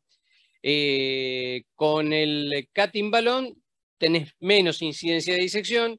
Con el shockwave ellos reportan que hay menos incidencia, de hecho usas baja presión. Y el rotablator no es un instrumento que diseque. El rotablator puede tener otros problemas, podés tener eh, embolía distal, bradicardia, pero no va a disecar. Al contrario, el problema del rotablator es si vas a usar rotablator después que usaste balón a alta presión y tenés una hoja de disección presente, eh, y fracasaste con la alta presión y querés ir con el rotablator después, ahí tenés un problema. Si tenés una hoja de disección y vas a rotablacionar con la hoja de disección, eh, o tenés cuidado o, vas a hacer, o podés hacer un desastre. Pero yo en orden de frecuencia lo pondría así. Igual el rotablator hay que tener en cuenta que también en, eh, en ángulos pronunciados puede romper la parte externa de la, de la, de la pared. O sea que hay que, digamos, no, nada está exento de complicación. No, y otro, otro concepto adicional a lo que dice Ale, em, es que igual si vos estás haciendo imágenes para, para guiar la angioplastia y para continuar con tu estrategia, por ahí hay ciertos parámetros que te puede dar el IBUS o el mismo UCT, donde eh, digamos, hay varios algoritmos ¿no? para, para evaluar la lesión pre y post, pero hay varios parámetros que vos puedes tomar en cuenta para ver si esa, esa, disección es clínicamente relevante. Más allá de ver los cambios en el electro, lo que sea, es el porcentaje de la pared que ocupa, o cuánto protuyo, qué característica tiene la, la, placa después de haber hecho la preparación. Eh, a veces hay placas que parecen más cálcicas y terminan siendo más blandas o viceversa, eh, como mostraron en algunos de los casos. Así que me parece importante no jerarquizar solo la presencia, sino dónde está ubicada, qué cantidad de lumen eh, ubica, es una cuestión por ahí técnica, puramente de imágenes, pero si estás haciéndola hay que, hay que saberlo. Eh, un comentario que más que nada es una idea para una próxima sesión. Eh, pues estamos hablando de lo ideal. Y creo que el 90% de los servicios y de los hemodinamistas trabaja como pueden. Entonces, si bien la caracterización previa, como dice Sebastián de la placa con imágenes es bárbara, eh, normalmente le tenemos que pedir autorización a la obra social previamente, etcétera, o jugarnos a usar el método y después pensar que nos lo van a, reponer. Bien. Lo que el comentario que hizo Alejandro de, bueno, yo trato de abrir una lesión dura con balón y la disequé, y después el rotablator, me animo a pasar el, el rotablator si ya tengo la arteria disecada. Bueno, capaz que un tema interesante a desarrollar es que veamos para nuestra realidad cómo manejamos el, día a día, o sea, qué pacientes nos largamos con simplemente la angiografía diagnóstica, hacer lo que hemos hecho todos durante toda la vida, es decir, balón, etcétera, y cuáles es mandatorio sí o sí pedir imágenes o disponer de, o hacer el rotablator de entrada, o decir, bueno, tengo el, el IBL por las dudas en caso de que no pueda expandir el stent. ¿A cuánto nos ha pasado que hemos puesto un stem pensando que se iba a expandir y nos quedó subexpandido? O sea, creo que es para una sesión entera eso, ¿no? yo creo que está bien. Es lo que hablaba un poco Alfredo de la selección de pacientes. Yo creo que en el 90% de los casos nosotros trabajamos con lo aprendido en muchos de estos otros métodos, en el live o eso, no sé, vos habrás postdilatado stent que antes no postdilatabas y aprendido para el día a día en muchas cosas, pero en otros en la selección de pacientes y insistir con la importancia de estos métodos o estos, dispositivos, la importancia y la autorización y la importancia en el resultado a largo plazo, que es lo que las obras sociales por ahí no piensan y no les interesa. ¿no? Bueno, eh, yo primero eh, quiero agradecer a todos la presencia y la participación. Hay gente que se ha venido de todos lados del país para poder participar en esta sesión. Como siempre, a la industria que, nos permite poder realizar estas actividades de educación continua tan importantes para nuestra especialidad. Va eh, a hacer un cierre, como siempre la capacidad de, resumir y conclusión que tiene Alejandro es este, única. El doctor Alejandro Palacios, expresidente del colegio, así que después de esto los invitamos a, un lunch. ¿Vale? Bueno. Gracias por la invitación. Yo primero quería felicitar a la organización del colegio. Primeras jornadas, abre un Alejandro, cierra un Alejandro y hay dos Alejandro en el medio. Así que los de la X y la Z que empiezan su nombre, Xavier y, Zenón, van a tener que esperar a diciembre para hacer sus presentaciones. ¿no? Este, la otra cosa es que vamos a volver al canal Volver digamos, porque esto no este, apareció hoy y todos sabemos un montón. Esto tiene más de 40 años en la Argentina, ¿eh? y esto es para mis coetáneos este, el recuerdo de todo esto. Como, como explicó el doctor Alejandro Fernández, eh, en el mundo se desarrolló y nosotros tuvimos la suerte de desarrollar la angioplastía casi coincidentemente con el resto del mundo. Hoy, lamentablemente, estamos más atrasados que el resto del mundo. Pero bueno, pudimos comenzar angioplastía, pero la comenzamos en una situación muy rudimentaria. Hace 40 años, nosotros empezamos a hacer hemodinamia con el doctor Dionisio Chambre, prestó las diapositivas, en el Instituto Pombo de la Fundación, eh, la Fundación Almanejita Pombo de Rodríguez, que era el Instituto de Cardiología de la Academia de Medicina, en ese equipo, con ese grado de imagen. Este es un tagarno, este es el equipo, un intensificador de imagen, el tubo aquí abajo, el paciente en una cuna que rotaba en las oblicuas. Cuando nosotros teníamos que hacer las axiales, le teníamos que poner una cuña en la espalda para hacer la posterior craneal y había muchos equipos que usaban cuñas para todas las posiciones. Un aparato de registro lingográfico que hace muchísimos años, esto es en la década del 80, impresora por chorro de tinta. Yo la verdad que la tengo ahora la impresora y pensé que no, que era un invento moderno. Una imagen fluoroscópica en una pantalla, una imagen de parámetros vitales en otra pantalla, y eso era todo lo que teníamos. Y cuando queríamos hacer imagen detenida o ver el resultado de la angioplastia, que saliera a revelar corriendo la, la película y ver en la película qué estaba pasando en, en eso. Así empezamos a hacer esto, o sea, con una selección importantísima de los pacientes que necesitaban hacer que después no conocen.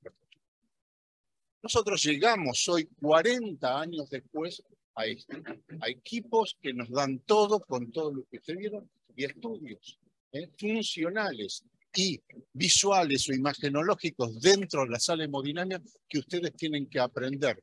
Todo junto en este momento, nosotros gracias a Dios fuimos aprendiendo paso a paso a medida que aparecían los métodos. Lo que les tengo que decir es, como vieron en todas las presentaciones, hay que involucrarse en el funcionamiento del equipo y hay que exigir a las compañías de los equipos que nos den mucho más de, capacitaciones a los médicos. Estos llegan, se hacen, se pone un equipo nuevo, se da capacitación al técnico y nosotros dependemos del técnico. Le pedimos, estén bici y no sabemos qué botoncitos tocar. Eso hay que aprenderlo, porque cuando uno llega a las tres y media de la mañana y el técnico es nuevo y el ayudante no, tuyo no entiende dónde están los catéteres o el, enfermero no entiende el catéter, uno tiene que saber dónde están los catéteres, dónde están las cuerdas, dónde está el marcapaso, dónde está el botón que hay que tocar para ver este tal o cual. Pues, exactamente, bueno, exactamente, menos la urgencia. Eso es importantísimo. Por eso hay que involucrarse con el equipo yo no le digo que le saquen el 100% de la capacidad del equipo, pero sáquenle por lo menos el 50%, que en, las, en la soledad de la noche y en la indecisión de qué hacer, nos ayuda muchísimo ¿eh? en tomar ciertas decisiones para que el éxito. Así empezamos nosotros nuestra QCA, esta era nuestra QCA este, en, esa época. Calcábamos la coronaria del Tagarno, por regla, eso, por eso hay que estudiar matemáticas. Yo eh, odiaba matemáticas, pero ah, gracias a esto he aprendido. Regla de tres simple, catéter guía usado como referencia, cuántos milímetros medían, y así mis primeras 300 angioplastías, las calqué todas y las medí y tengo una idea hoy de, qué, de cuánto y qué diámetro estoy viendo en la fluoroscopía. Es un ejercicio, hoy lo tienen que hacer en la computadora del equipo. Es un ejercicio que se los recomiendo para usted tener bien el ojo de qué diámetro, qué no diámetro. Y sobre todo ahora en los flap, en los este, paneles gigantes que la coronaria creció cuatro a cinco veces en el, en el panel que tenemos adelante y la, relación ojo, este, eh, ojo diámetro de la coronaria es, difícil.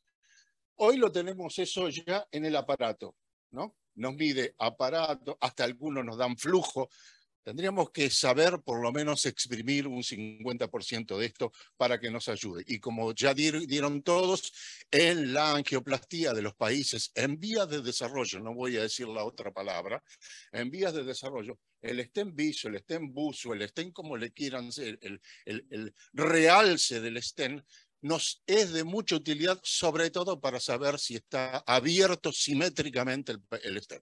Entonces, tendríamos que usar todas esas cosas para ver. Esto es el desarrollo. Nosotros, acá se habló de la cantidad de gente que debería hacer una angioplastia. Aquí era como nosotros al principio usábamos los primeros catéteres de Grunzig. El catéter de Grunzig tenía, no, tenía una lumen, un lumen del catéter, un lumen del catéter guía y una cuerda para manejar. Teníamos tres operadores. Uno manejaba el catéter guía con esta manifold que inyectaba por el catéter guía otro manejaba la inflación del, catéter y otro manejaba la cuerda y la inyección por el balón, porque era fundamental ver la luz, dónde estaba puesto el balón y a su vez registrar presiones, una primaria FFR que tuvimos en ese tiempo para decir que era exitosa la angioplastia. Este es el, esto es la, la diferencia de presiones que nosotros teníamos cuando le damos éxito y la caída del gradiente de presiones figuraba como criterio de éxito de angioplastía en la primera etapa. Así que recuerden, por ahí eso le puede ayudar.